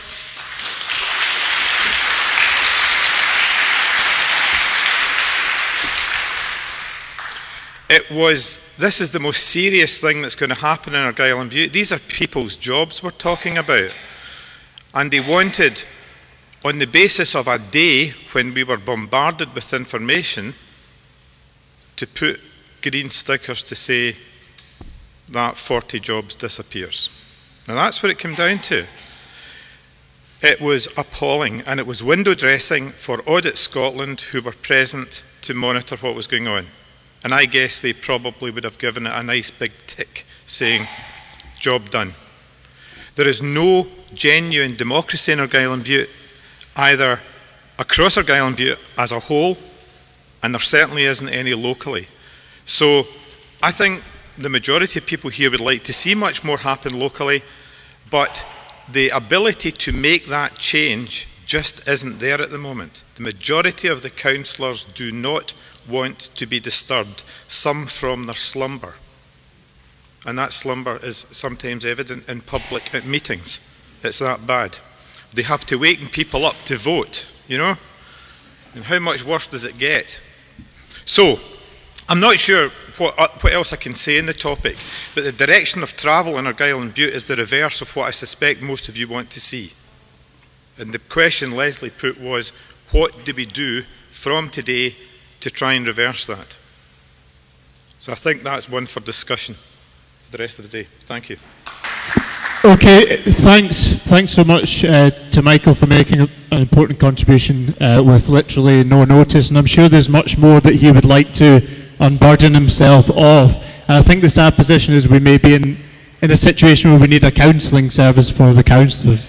Um, I think, though, just to pick up before we go to questions on what Lesley said, I think the power is in this room to leverage change. I think we do need a slate of, of councillors, and we need the community needs to be the resource which supports them against an unaccountable officialdom. And the inverse of the situation where that officialdom is actually decoupled from the people is that it can look like a strength, but fundamentally it's a weakness because they have a shallowness of support, they're completely disembedded, and we are many, many more of, uh, we are, we, there's many, many more of us than them, ultimately.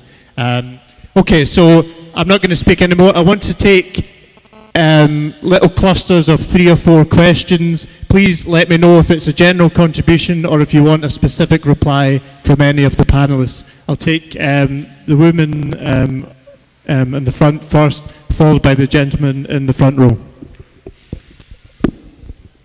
Uh, this is just a general um, thank you, Vivian and Michael, very much. Um, it seems like between you both, you have all the ingredients of um, BBC's new latest sitcom. Because from what I'm hearing from you, that's that's exactly that. That's unbelievable. That doesn't doesn't seem like democracy in action at all. So it's it's not easy to carry integrity, and it's not easy to um, let folks know. So I'm personally thank you both very very much.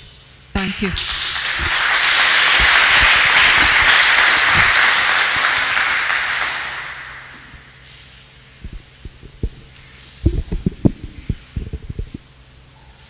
it's even worse than you are saying.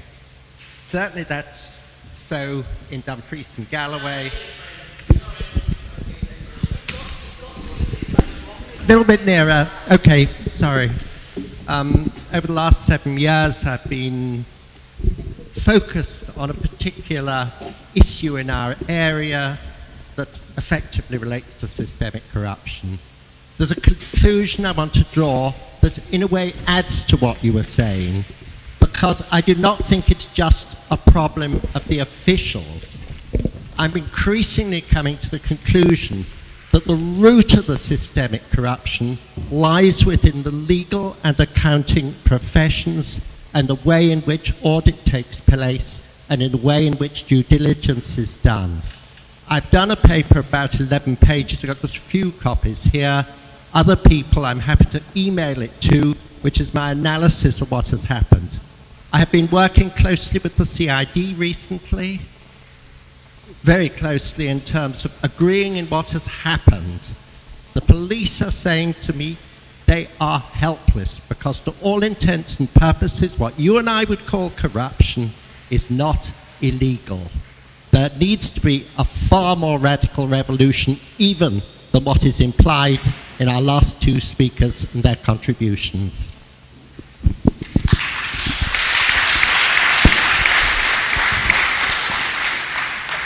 Uh, hello. Um, I think that we have to have short-term and long-term strategies. And for me, um, council reform will take a long time. And there's things we need to do immediately and there's things we need to do in the long term immediately I think we need people to start saying they're going to stand because it takes a long lead-in time for that to happen and we need some of these young people who have put together this fantastic conference because it's uh, white, male and old in terms of the council. Um, but we also need immediate action because for some of us it's too late what is happening. I've got a petition here. We got 10,000 signatures, over 10,000 signatures for behind the sale of Castle Toward. We're now got a petition saying we want an investigation and an independent investigation into Argyll and Bute Council to highlight all these things that are happening and to get something done about it. We want 20,000 signatures on this. We want this not to be able to be ignored and we want that investigation to take place immediately.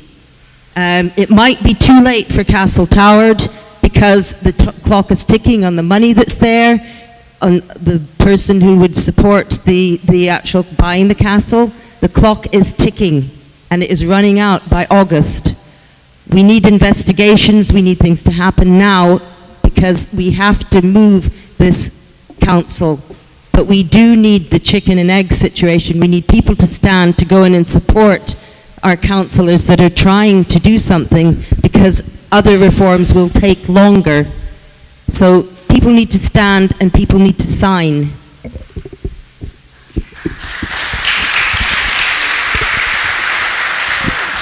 Okay, I'll, I'll, take one more question in this round and then invite the panelists um, to, to come back and respond. Hi, this is a, a, statement and a question as well, I guess. Um, I've been dragged, kicking and screaming over the last 10 years into this political process, and all I wanted to do was grow carrots and potatoes. and um, I'm finding my, like Vivian, my hands are tied, not just by Argyll and Bute Council, but by the Scottish Government and the Scottish Parliament. We've been lobbying the Scottish Parliament now for about the last two years on the Community Empowerment Bill very, very strongly. And we've finally got a tripartite agreement between the Scottish Government, COSLA, and the Scottish Allotments and Garden Society to sit down and have discussions and I'm glad that gentleman said actually this thing about the law because we're discussing legislation here. We sat down with discussions and in the group we agreed to have this particular piece set up. What was produced to us two days, two days ago does not reflect what took place in that discussion. And that is about to come forward for the Scottish Parliament in the third round of discussions. The member that was there from Argyll and Bute and representing, representing COSLA was a lawyer from Argyll and Bute Council who was given no brief and didn't understand the process. Sorry, sorry, I'm just frustrated, Lesley. It's just coming out fast. And uh, he had no idea why he was there. And his response in an email to the group was, the Community Empowerment Bill will affect Argyll and Bute Council minimally. Two days, three days ago, I was at the Sustainable Development, the UN Sustainable Development Day or evening in the Scottish Parliament, discussing what's going to be happening with the Sustainable Development Goals coming into Scotland that I didn't see on anyone's manifesto. What disturbed me about that actually was that the UN is coming in and the Sustainable Development Goals are going international. And it's just a backdoor for multinational corporations to come in and grab the assets.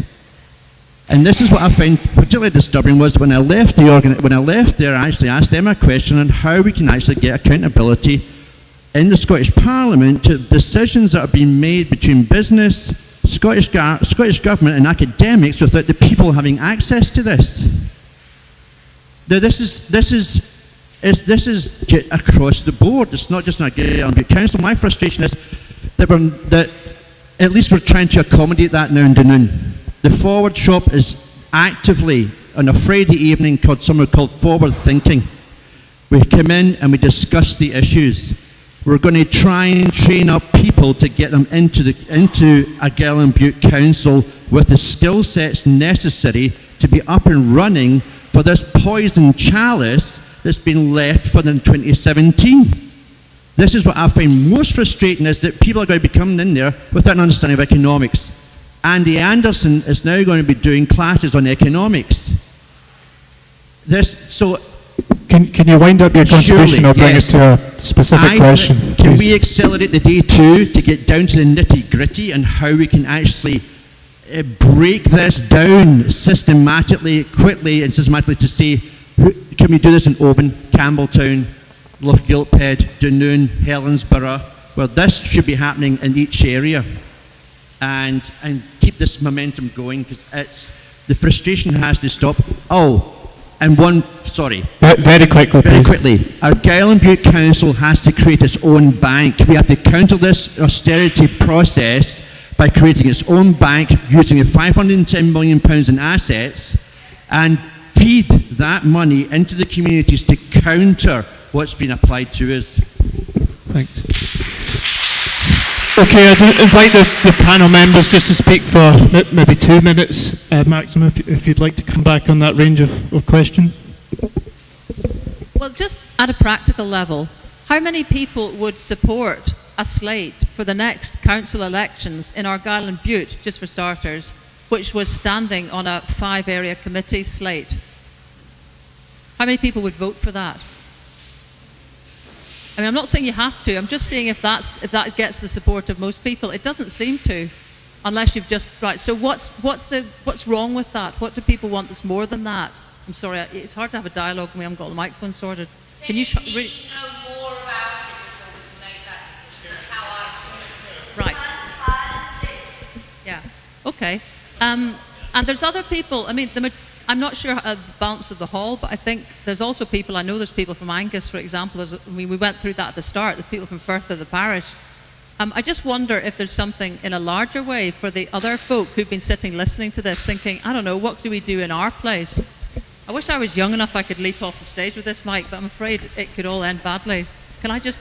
Oh right, you've got a mic. Can you just get that guy, that guy there, and then I'll shut up.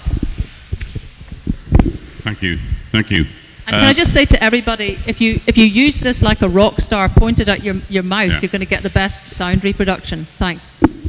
Okay, is that okay? Yeah, fine. Uh, I think the key issue that works against the area argument in Argyll is the level below Argyll and Bute Council, and that's getting down to the local um, community councils, which are not funded, and which therefore are trying to work not on the cheap but with no assets, and they don't get a buy-in from the local population because the local population realises that they can't impact on the particular circumstances. So it's got to be down one level lower before we can push it up through the whole of Argyll and Bute Council. Thank you. I think Mike had a specific point he wanted to make. Yeah, um, I I don't think the area committee proposal is in any way worked up in the way that it could know, happen tomorrow, though I think it could happen by the end of the year because the council and others should be working it up. But I did specifically say about community councils that the power exists to involve community councils in the area committee structure that would allow them people from community councils to be decision makers. But I don't think the issue at the moment is who would in two years' time vote for an area committee slate of candidates. I hope we might have moved on in two years' time to a much more substantial uh, type of reform of local government that has much stronger accountability, that has broken the system down, that is making sure that people are deeply involved. What we're looking for in Argyll and Bute, and this sounds a little bit like sort of a private party, I accept this, Lesley, but it's quite important. What we're looking for in Argyll and Bute, I think, at the moment, is a way to overcome what Vivian and Michael have both described as a complete abuse of democracy. There's no democracy at all. As a complete abuse of the people who live here. Half of my workload as an MSP is to do with issues that are created by our and Bute Council. Is senior officials who won't even meet communities. Decisions made of a variety of types which are completely unaccountable. We need a process now to change that. We need to change the council when it's elected in two years' time. We also need a much wider process of reforming Scottish local government that isn't fit for purpose. Now, all of those things are urgent, but Lorna is right, Lorna Alquist is right. How do we move forward on each of those, which also empowers um, Castle Toward, because I don't think I haven't given up on that, the community there to buy that property. It's a big task. We should be able to achieve all of it, but we need to get started on it. Yeah, if, if I could just uh, add a couple of things from the questions, just things that have uh, sprung to mind. Um, the issue, I, I, that there seems to be a motivation here today which is was ultimately driven by Castle Toward and I use the ten and a half thousand people are actually wrong uh, we've got it right. And that gave a, a, a real grassroots movement to show that this is why we're discussing this today. But I don't want you to think in any way shape or form that Castle Toward is unique in any way to Argyll and Bute Council. There are instances throughout Scotland of where we get that abuse in the sense that we communities are ignored. But there is also a common thread running through a lot of these discussions today and issues that we could bring out. I mean, we could, both for Britain here, uh, the councillors, we could give you examples ad infinitum. You know, I, I just think one off the top of my head, the population decline in Argyll and Bute is a major issue, uh, as are jobs and houses. And we had an economic summit last year uh, to look at this, well attended, some very good speakers, some very good ideas. So what did the council leader decide to do? He set up an economic forum which is made up of unelected people and the first time I heard of that economic forum actually meeting, because I knew that the chair had been recruited, but I, I, just picked that up on the grapevine, I wasn't told officially. And when I asked, could I see minutes of that meeting, please, what, because I understand it's made, the leader told me, no, there's no minutes taken, there's no record of the meeting, and you're not seeing anything. So these are the people who have taken on the task voluntarily, very commendable, to try and help us with the population decline. However, after a bit of persistence, we managed to get a record of the meeting uh, available the following week. But those are the kind of things that go on. But just to let you know that Castle Toward and the money issue is not a single issue. Um, my ward is Helensburgh.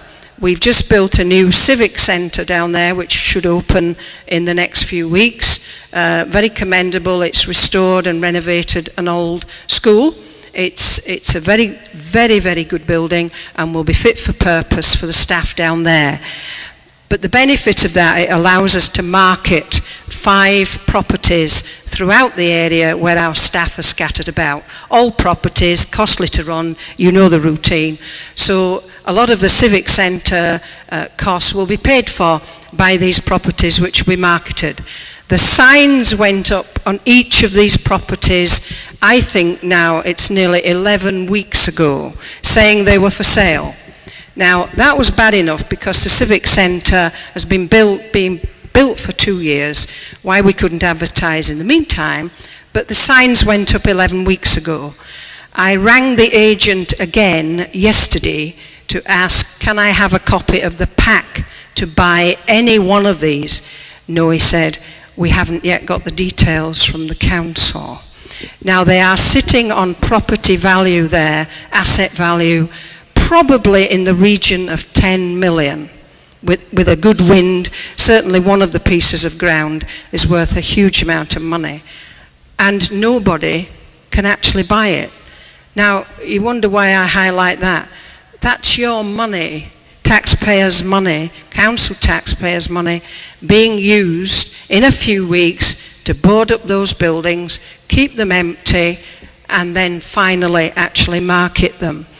The other thing that I think from the discussion that's come out, I think what we need as well for the communities, we should as a government, Scottish government and as a, a country be looking at introducing some kind of community right of recall on councillors and councils.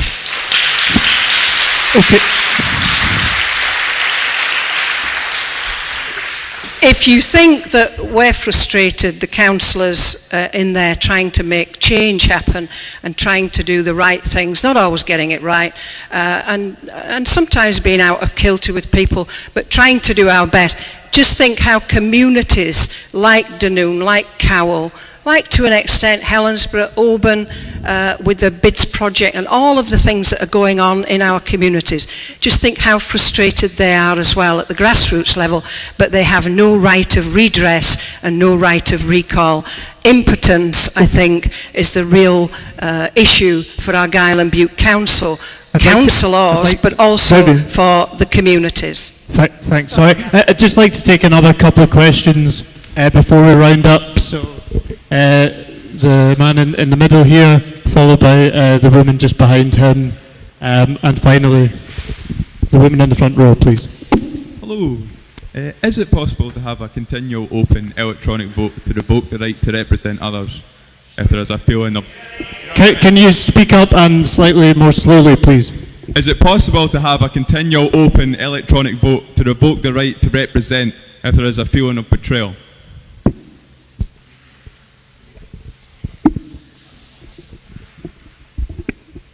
Hi there. Just in terms of the issues that we're talking about today, I think it's also worth noting that across Argyll and Bute, as with many other areas in Scotland, communities are doing wonderful things despite local government and despite government rather than instead of. There's, there's a huge and incredible dynamic um, energy that's creating opportunities in our communities, battling against the bureaucracy. There's also officers within councils trying to make a difference and giving up or going off in long-term sick. And we need to find a way to actually prevent that negativity stifling out the energy that we have in our communities and celebrating and supporting people to continue to, to deliver really good things that they're doing. So I think it's really important to recognise that despite a lot of the issues that have been highlighted, I mean, Argyll and Bute has a plethora of incredible social enterprise activity, community development activity, and it's despite of rather than because of the council.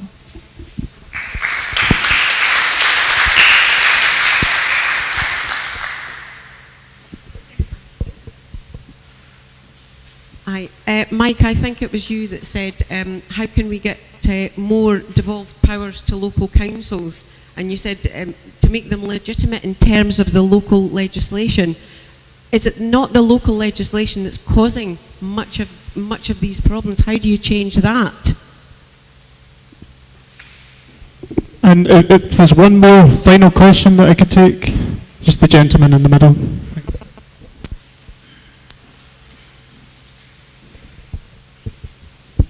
Uh, thank you very much. Um, it is possible to write a scheme of delegation to allow local authorities to operate in a decentralised way. Um, the Highland Council next door from 95 to 2007 had such a scheme um, and that allowed the local members to sit in the local areas, a place like Oban, and scrutinise the operation of the council. Now, that doesn't actually happen uh, nowadays, uh, I know it happened because I was the area manager and it was my job to open up uh, different parts of the council so that the local members could scrutinise the operation of the council in the eyes of the local community. So it, wa it was done, the press were there, the public were there, um, we had a number uh, of public, um, like open radio phone-in sessions where people can phone in and question councillors. So uh, if there's an appetite for that to happen, it will happen. Um, it also needs to be very clearly understood by, from the chief executive down that the organisation must be a member-led council. I was in no doubt uh, as a mere official that it was my job to serve the members um, in, in the organisation. Thank you very much. Okay, thanks very much for very rich and, and very thought-provoking contributions. I'd like to invite Lesley to uh, round up for two minutes and then I'll finish off with, with Mike, who I know is uh, chomping at the bit to, to come back in. Um, yes, the, the difficulty with all of this, John, is what happened in 2007. The Lord giveth and the Lord taketh away. Now, as long as we're still um, aiming for a structure as, a, as any kind of more than a stopgap measure, which is dependent on the goodwill of a higher body to let a lower body have its say, its budget, its airtime, its existence, then we are acting completely at odds with what we're calling for at a national level from Westminster. I mean, it, it astonishes me that that leaders of the SNP don't see this clearly, um, that we can't rely on just handouts, goodwill, some people that, you know, are willing to listen to you now and then. Nobody else in Europe is, is calling local democracy um, a series of occasional handouts. Pocket money and pocket power is all we'll get as long as that's our horizon. And I appreciate for lots of people in the room, this is maybe the first time you've got your heads round this. Get your heads round it fast because there is a perfect window of time to organise for 2017. I don't know what it is that people want to go for, but it can be gone for as long as there's some people who are willing to stand. It's almost like the 56 who went down the road, and I'm not implying that everyone in this room voted SNP. But people could kind of see there was a job to be done and they backed the SNP to be a strong voice at Westminster. Well, do we need a strong voice in councils now to call for change in the very hugeness and remoteness of their existence? I think we do.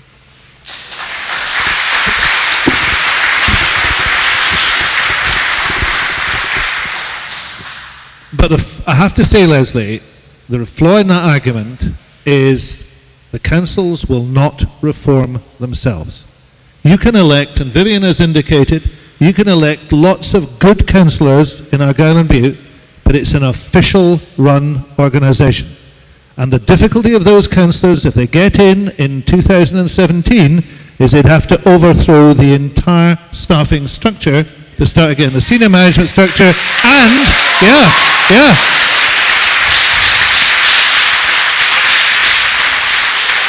And there are people in this room who know I believe that should have happened in 2012. But it didn't happen. And that's a fear that if you simply go by that route, it won't happen. So you've got to do some other things. Firstly, you've got to keep, we've all got to keep the pressure up for change now in Argyll and Bute Council. I don't want anybody to suffer for another day. And the point about communities is absolutely correct. There are great communities, but they're being adversely affected. But there are also great members of staff who are being adversely affected. In my post bag, in my post bag, I deal with people who are off with stress because they can't put up with it any longer. In one part of this local authority area, 50%, 50% of the head teachers are either off or leaving or taking early retirement or sick. That is because of the system we have and the management in place. That shouldn't be allowed to last for a moment longer. So we need action now to change what is happening. We need to support our good councillors, and there are, there are many good councillors in their fight against the way in which they are treated. We need changes at local level, and that can be done, John is right, by a scheme of delegation, and we should get that scheme of delegation. We should certainly have slates of councillors for 2017, but the big issue is local government reform, radical local government reform, on the agenda for the Holyrood election next year because Holyrood can deliver it. So the, that's the big priority. And finally, what I want to do, you know, is I hope I'll be standing here, we haven't had a selection yet. What I want to do is I want to campaign locally on that ticket, but I also want to campaign nationally on that ticket. So those people who are in the SNP help to change that policy so that we get local government reform as a priority for the next Holyrood election.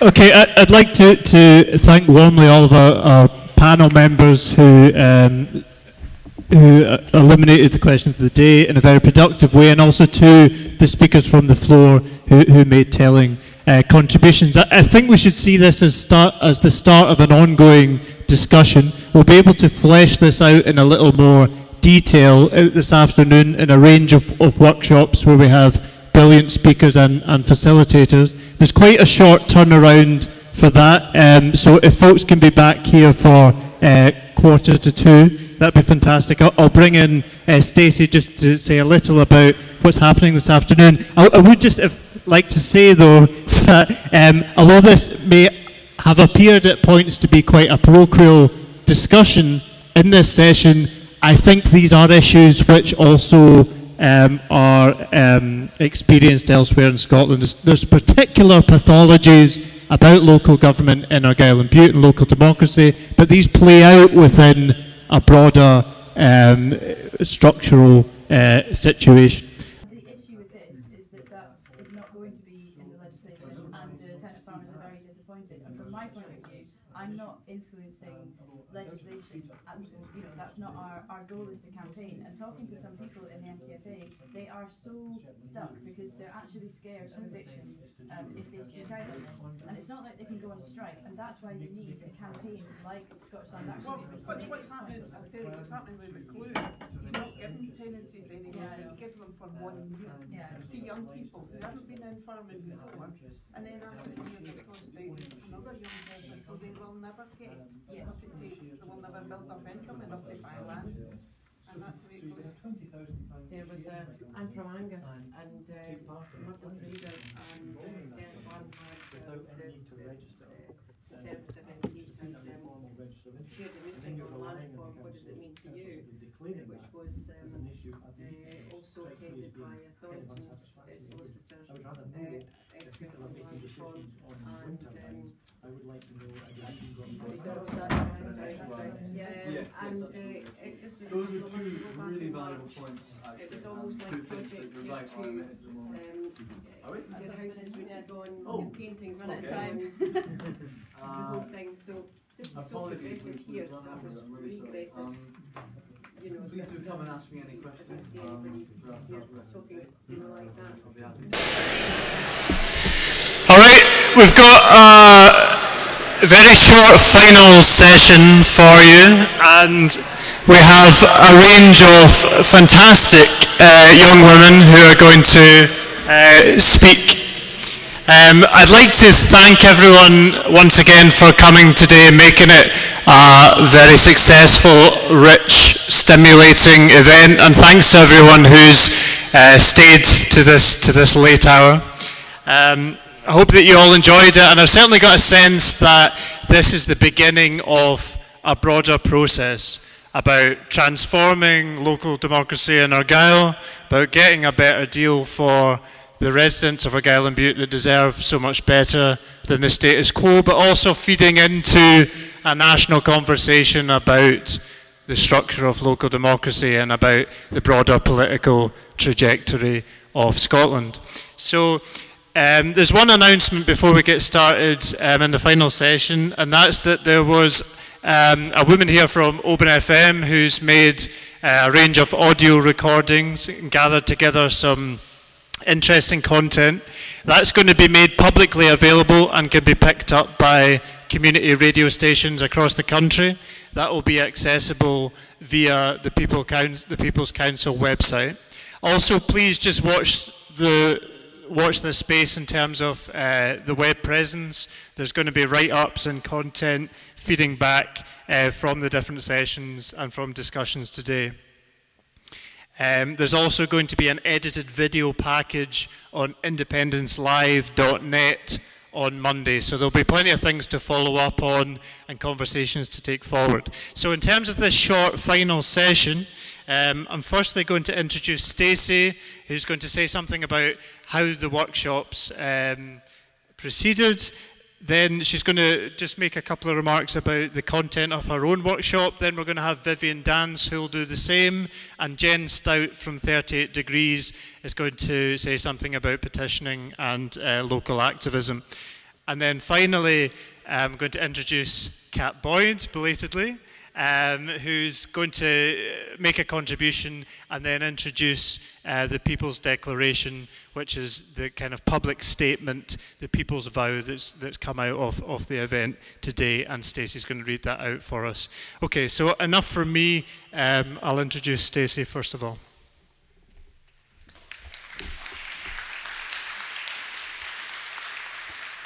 Hello. Is this? I'm checking again that this is loud enough. Yeah. Okay. Um, so, on the 1st of April this year, Roddy McCuish, the councillor, told me that they were cutting three councillors in 2017 and removing the area committees. I actually cried. I was laughing so much because I thought it was the best April Fools that I'd heard in years, and it turns out it's true. Um, I think the direction of travel is blatantly and fundamentally opposed to the will of the citizens and the people in this room, and I think that we need to do something about it drastically. So, in the session that I was in this afternoon on the local budget, instead of talking austerity, we decided to talk really particularly about what's happening in Argyll and Bute and about what we could do. So, we came up with some great ideas. Um, we're basically talking about the proposed cuts being unethical and uninformed. You're talking 20 to 25% cuts to adult care with no planning for the future and no forecasts in place for what's going to be required. There's hundreds of jobs to be cut from the poorest, privatisation of school meals and cleaning contracts to save about a million pounds, while councillors' costs are ring-fenced. We're looking at a structural disjointment which is leading to huge wastage, but it's easier to hit the bottom rung than it is to actually tackle the structural issues that are at play. We need to publicise what we can, and everyone has to play a part in that. We need to make sure the council knows that they've got a statutory and a moral obligation to conduct public consultation, and it must be meaningful. There's no point in toothless just to tick a box. We doubt that any equality impact assessments have actually been done, and we intend to do freedom of information requests to see if they have, and then lobby the government to ensure they're done properly. We're going to get Vivian Dance up just now to do a really quick summary of her workshop, and then Jane's going to do a little bit about petitioning.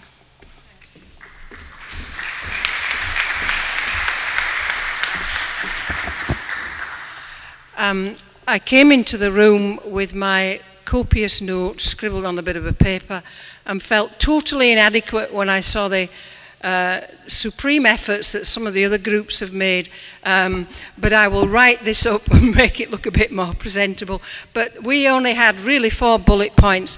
First of all, uh, an outcome from today, which has been an excellent day, well organised, lots of content, lots of things to think about. There must be some firm outcomes from today. We can't just go away and regard it just as a conference, that was it, finished. So we're looking for outcomes. And our suggestion of kind of bullet point for action points, uh, we, we, we've got four of them. First one is we need a review of councils. Uh, we focused on size really, and I suppose size is, is geography in the case of Argyll and Bute, uh, but it ties in with Mike Russell and local government reform. So that has to be one of the bullet points. Secondly, and there's a, some literature going around from Lorna about this, an urgent investigation into Argyll and Bute Council. The third point was the uh, development of a recall system for communities and residents, uh, for councils and councillors to call them in uh, when there are issues as there currently are. The fourth bullet point was the audit. The external scrutineer uh, audit uh, body needs to be beefed up in some way uh, or to be given real teeth or if it doesn't use those teeth to be made to be made to do that so there needs to be a review of audit Scotland and the fifth most important point is we all need to continue and to find out from the People's Council how we support them because they've done a tremendous job and we all know that it'll be down to a few people with like-minded approaches but they'll be sitting there at night doing their, their emails and all the work on their laptop. We, we want to discuss with them if we can help them progress. People's Council, look at funding, look at local coordinators, for example. And there was a further suggestion that we try and develop across the patch some kind of community education program because one of the things that staggers people is how little people know about A, what the hell is going on, but B, uh, how to make a difference. So those were our points. Thank you.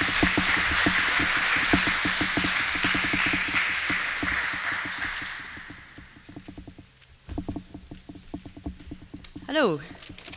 Is that in the right place? I'm quite wee. Um, I was running workshops with Rory on planning and land issues, uh, and the the key things that came out of that, I think, were a very large amount of frustration, which is very understandable. Um, was speaking on behalf of Planning Democracy, which are a charity um, that pushes for transparency and democracy in the planning system. And their big thing as a, as a sort of concrete next step that you might be interested in if you weren't in the session was about the petition to get equal rights of appeal, um, which would uh, sort of equal things up so that people could actually um, try and block processes that had gone wrong. Um, I was speaking on behalf of the Scottish Land Action Movement. Um, we're a campaigning group who set up last December. Um, and if you're interested in how we make land reform the big issue um, of the coming months and the big social justice issue, then do make sure that you are signed up to the mailing list and uh, get on our website and have a chat with me. Um, there would seem to be a great amount of enthusiasm for this, and uh, Monty was telling me there'll be a slam group in Dunoon tomorrow, so that's nice. I'm also going to talk really quickly uh, with my other hat on, which is 38 degrees. Um, part of the reason I knew some of the folk here was my involvement, um, as, as that's my job, um, with the Castle Tower petition and was really inspired by the folk involved with that, um, not least the way that they, after a really awful defeat um, and banging their heads off a brick wall, just got up and got active straight away. Um, and I was just going to, as a sort of useful tool for campaigners, I think 38 degrees um, is something definitely to look at when you when you do feel very powerless and you do feel like you're banging your head off a brick wall. Um, it is a cliche, but one person being very angry about a decision that they can't, they feel like they can't affect, can sit there and feel angry. But lots and lots of people acting together can actually achieve change. And one of the easiest ways to do that is online. Um, so you can set up a petition. They have a site called Campaigns by You, and you just create an account and you log in and, and off you go. A um, couple of things to bear in mind. I'd say always have a clear target. Um, figure out who the person you're asking to make the decision. Um, make your text good. A picture is always really great and things like that. But there's a, a sort of campaign staff eh, um, who work on this and can advise people. Um, and on a more general basis, uh, I've been the, the Scotland campaigner for 38 Degrees for the last eight months. Um, and I'm now moving to do land reform stuff, but my colleagues are mostly in London and they're really in awe of what's been happening in Scotland for the last few years. Um, and I think it is easy to overstate it and romanticise it, the level of engagement. But really, looking around me today, I don't think that's overstated. I think it is truly impressive, um, the level of determination. It makes me very hopeful. And I think it's important to make sure that we're equipped with all the tools we need to achieve the changes that we really desperately need. Um, and well done, guys, for organising this, because it's a tough gig and you've done so well. So well done.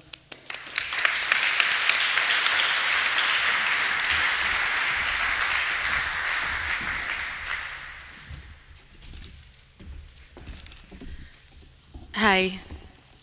Um, thanks for allowing me to speak. I'm uh, really sorry for missing um, the session. I was uh, timetabled in uh, to speak earlier on. It took us an extra 90 minutes to get from Glasgow to Oban, uh, I think because of the rain today. Um, I want to begin by being very honest.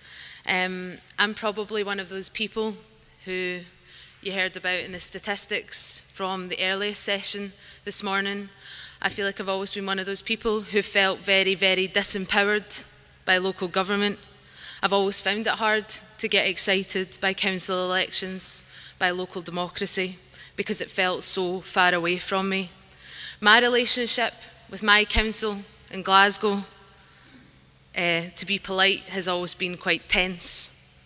I've spent a lot of time and energy in campaigns fighting against the city's austerity agenda, against its closure of daycare centres for disabled adults, where they bulldozed them to the ground to make way for a car park for the Commonwealth Games. I've campaigned against its treatment of the homelessness caseworkers who are still on strike and have been for several, several weeks and have assisted campaigns against the privatisation of our public spaces, um, the corporatisation of George Square, and of course the proposed demolition of the steps at the top of Buchanan Street, one of the only public spaces that we have left in the city.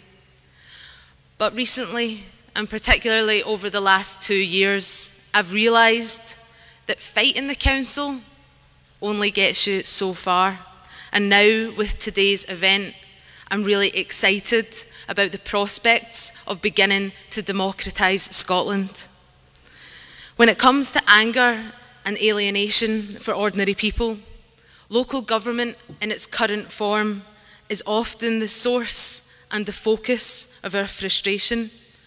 Our local government structures are the product of 1990s Conservative rule, the product of Blairism in Scotland and the UK, and the product of continual centralisation at Holyrood.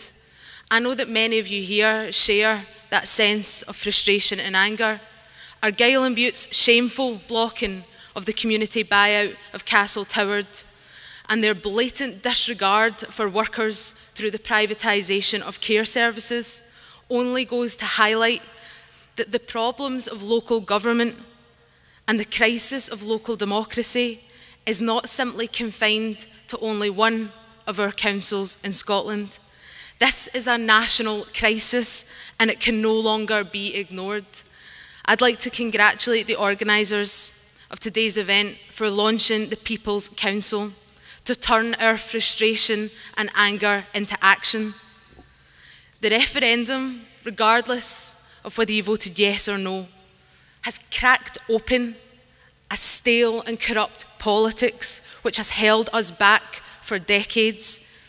Today is the beginning of something much better. The independence referendum, for many of us, including myself, became nothing to do with being Scottish or Scotland's identity, but it became a chance to change things, to do things differently. The referendum, I think, became a people's movement for democracy. And in that movement for democracy, there lies hope for challenging the power structures that we have at a local level. The notion of a People's Council is both reasonable, but it's also revolutionary.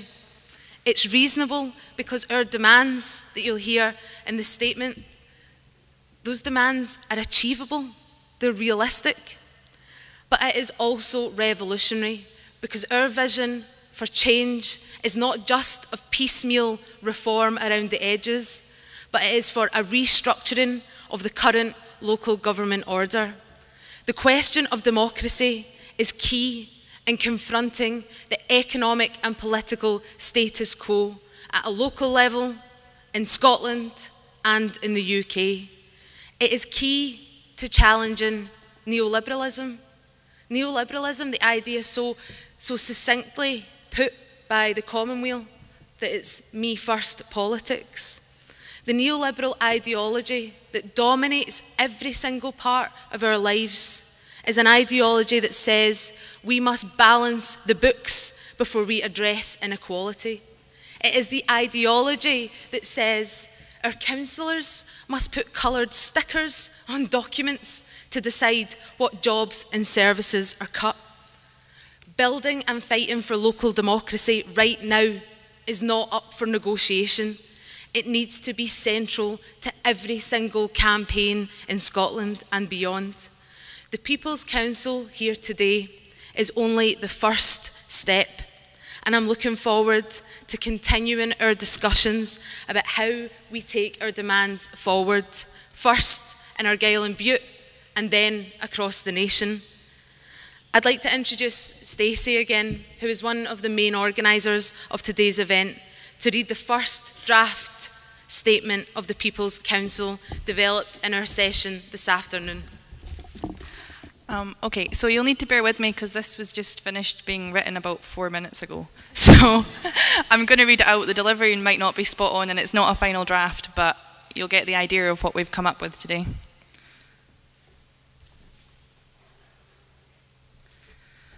So there's a crisis of local democracy in Argyll and Bute, and our council is an extreme example of the crisis in local government as it manifests itself across Scotland. The People's Council, established here today, is just the beginning of our challenge to this crisis. We believe that people should hold the balance of power. Local government must be run openly, and it must be run by the people in the interests of the majority. Today was the first step in our campaign to challenge and radically reform the existing power structures in our local councils. We'll continue our campaign locally.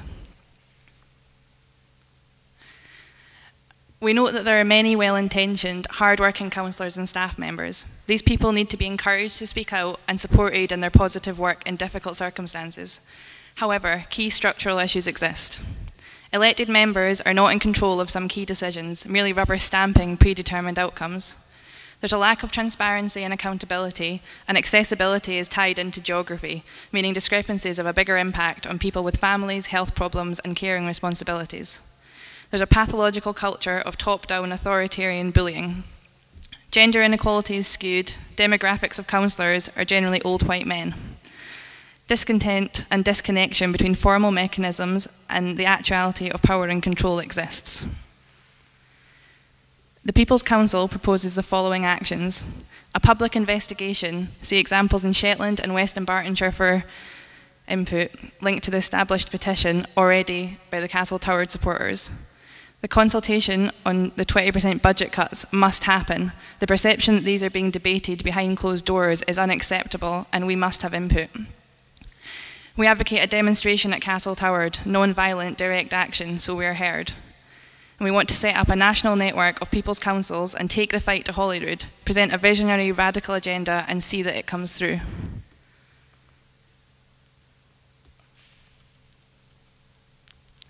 But we know that this problem extends from Oban to Orkney, from Galashiels to Glasgow, and so we want to use our meeting here today as a spark for the national movement, where ordinary citizens in each of the 32 councils can come together and challenge Holyrood too.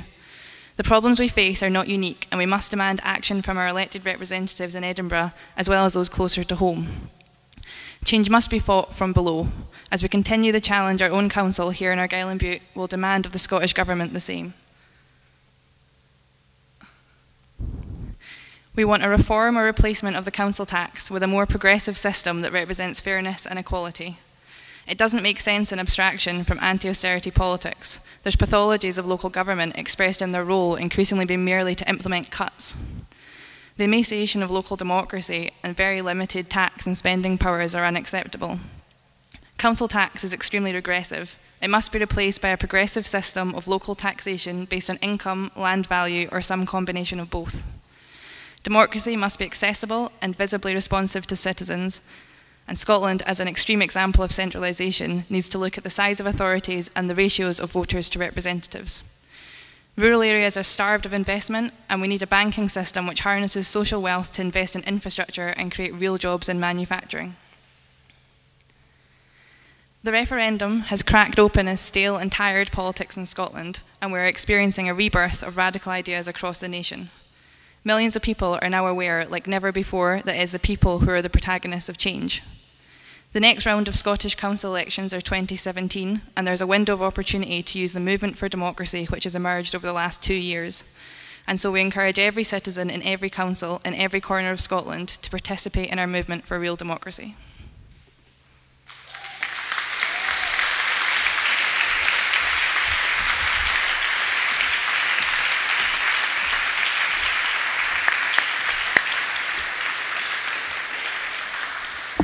Okay, so that brings us to the end of our programme today. Thanks again for coming. Um, I hope you enjoyed uh, today's event and I hope that you do stay engaged, stay angry and stay active and let's fight for a better local democracy in Argyll and Bute and a better Scotland. I'd just like to uh, repeat the thanks to the organisers um, of today's event, uh, particularly Stacey and Rona, who are two incredibly inspiring young women. Thank you.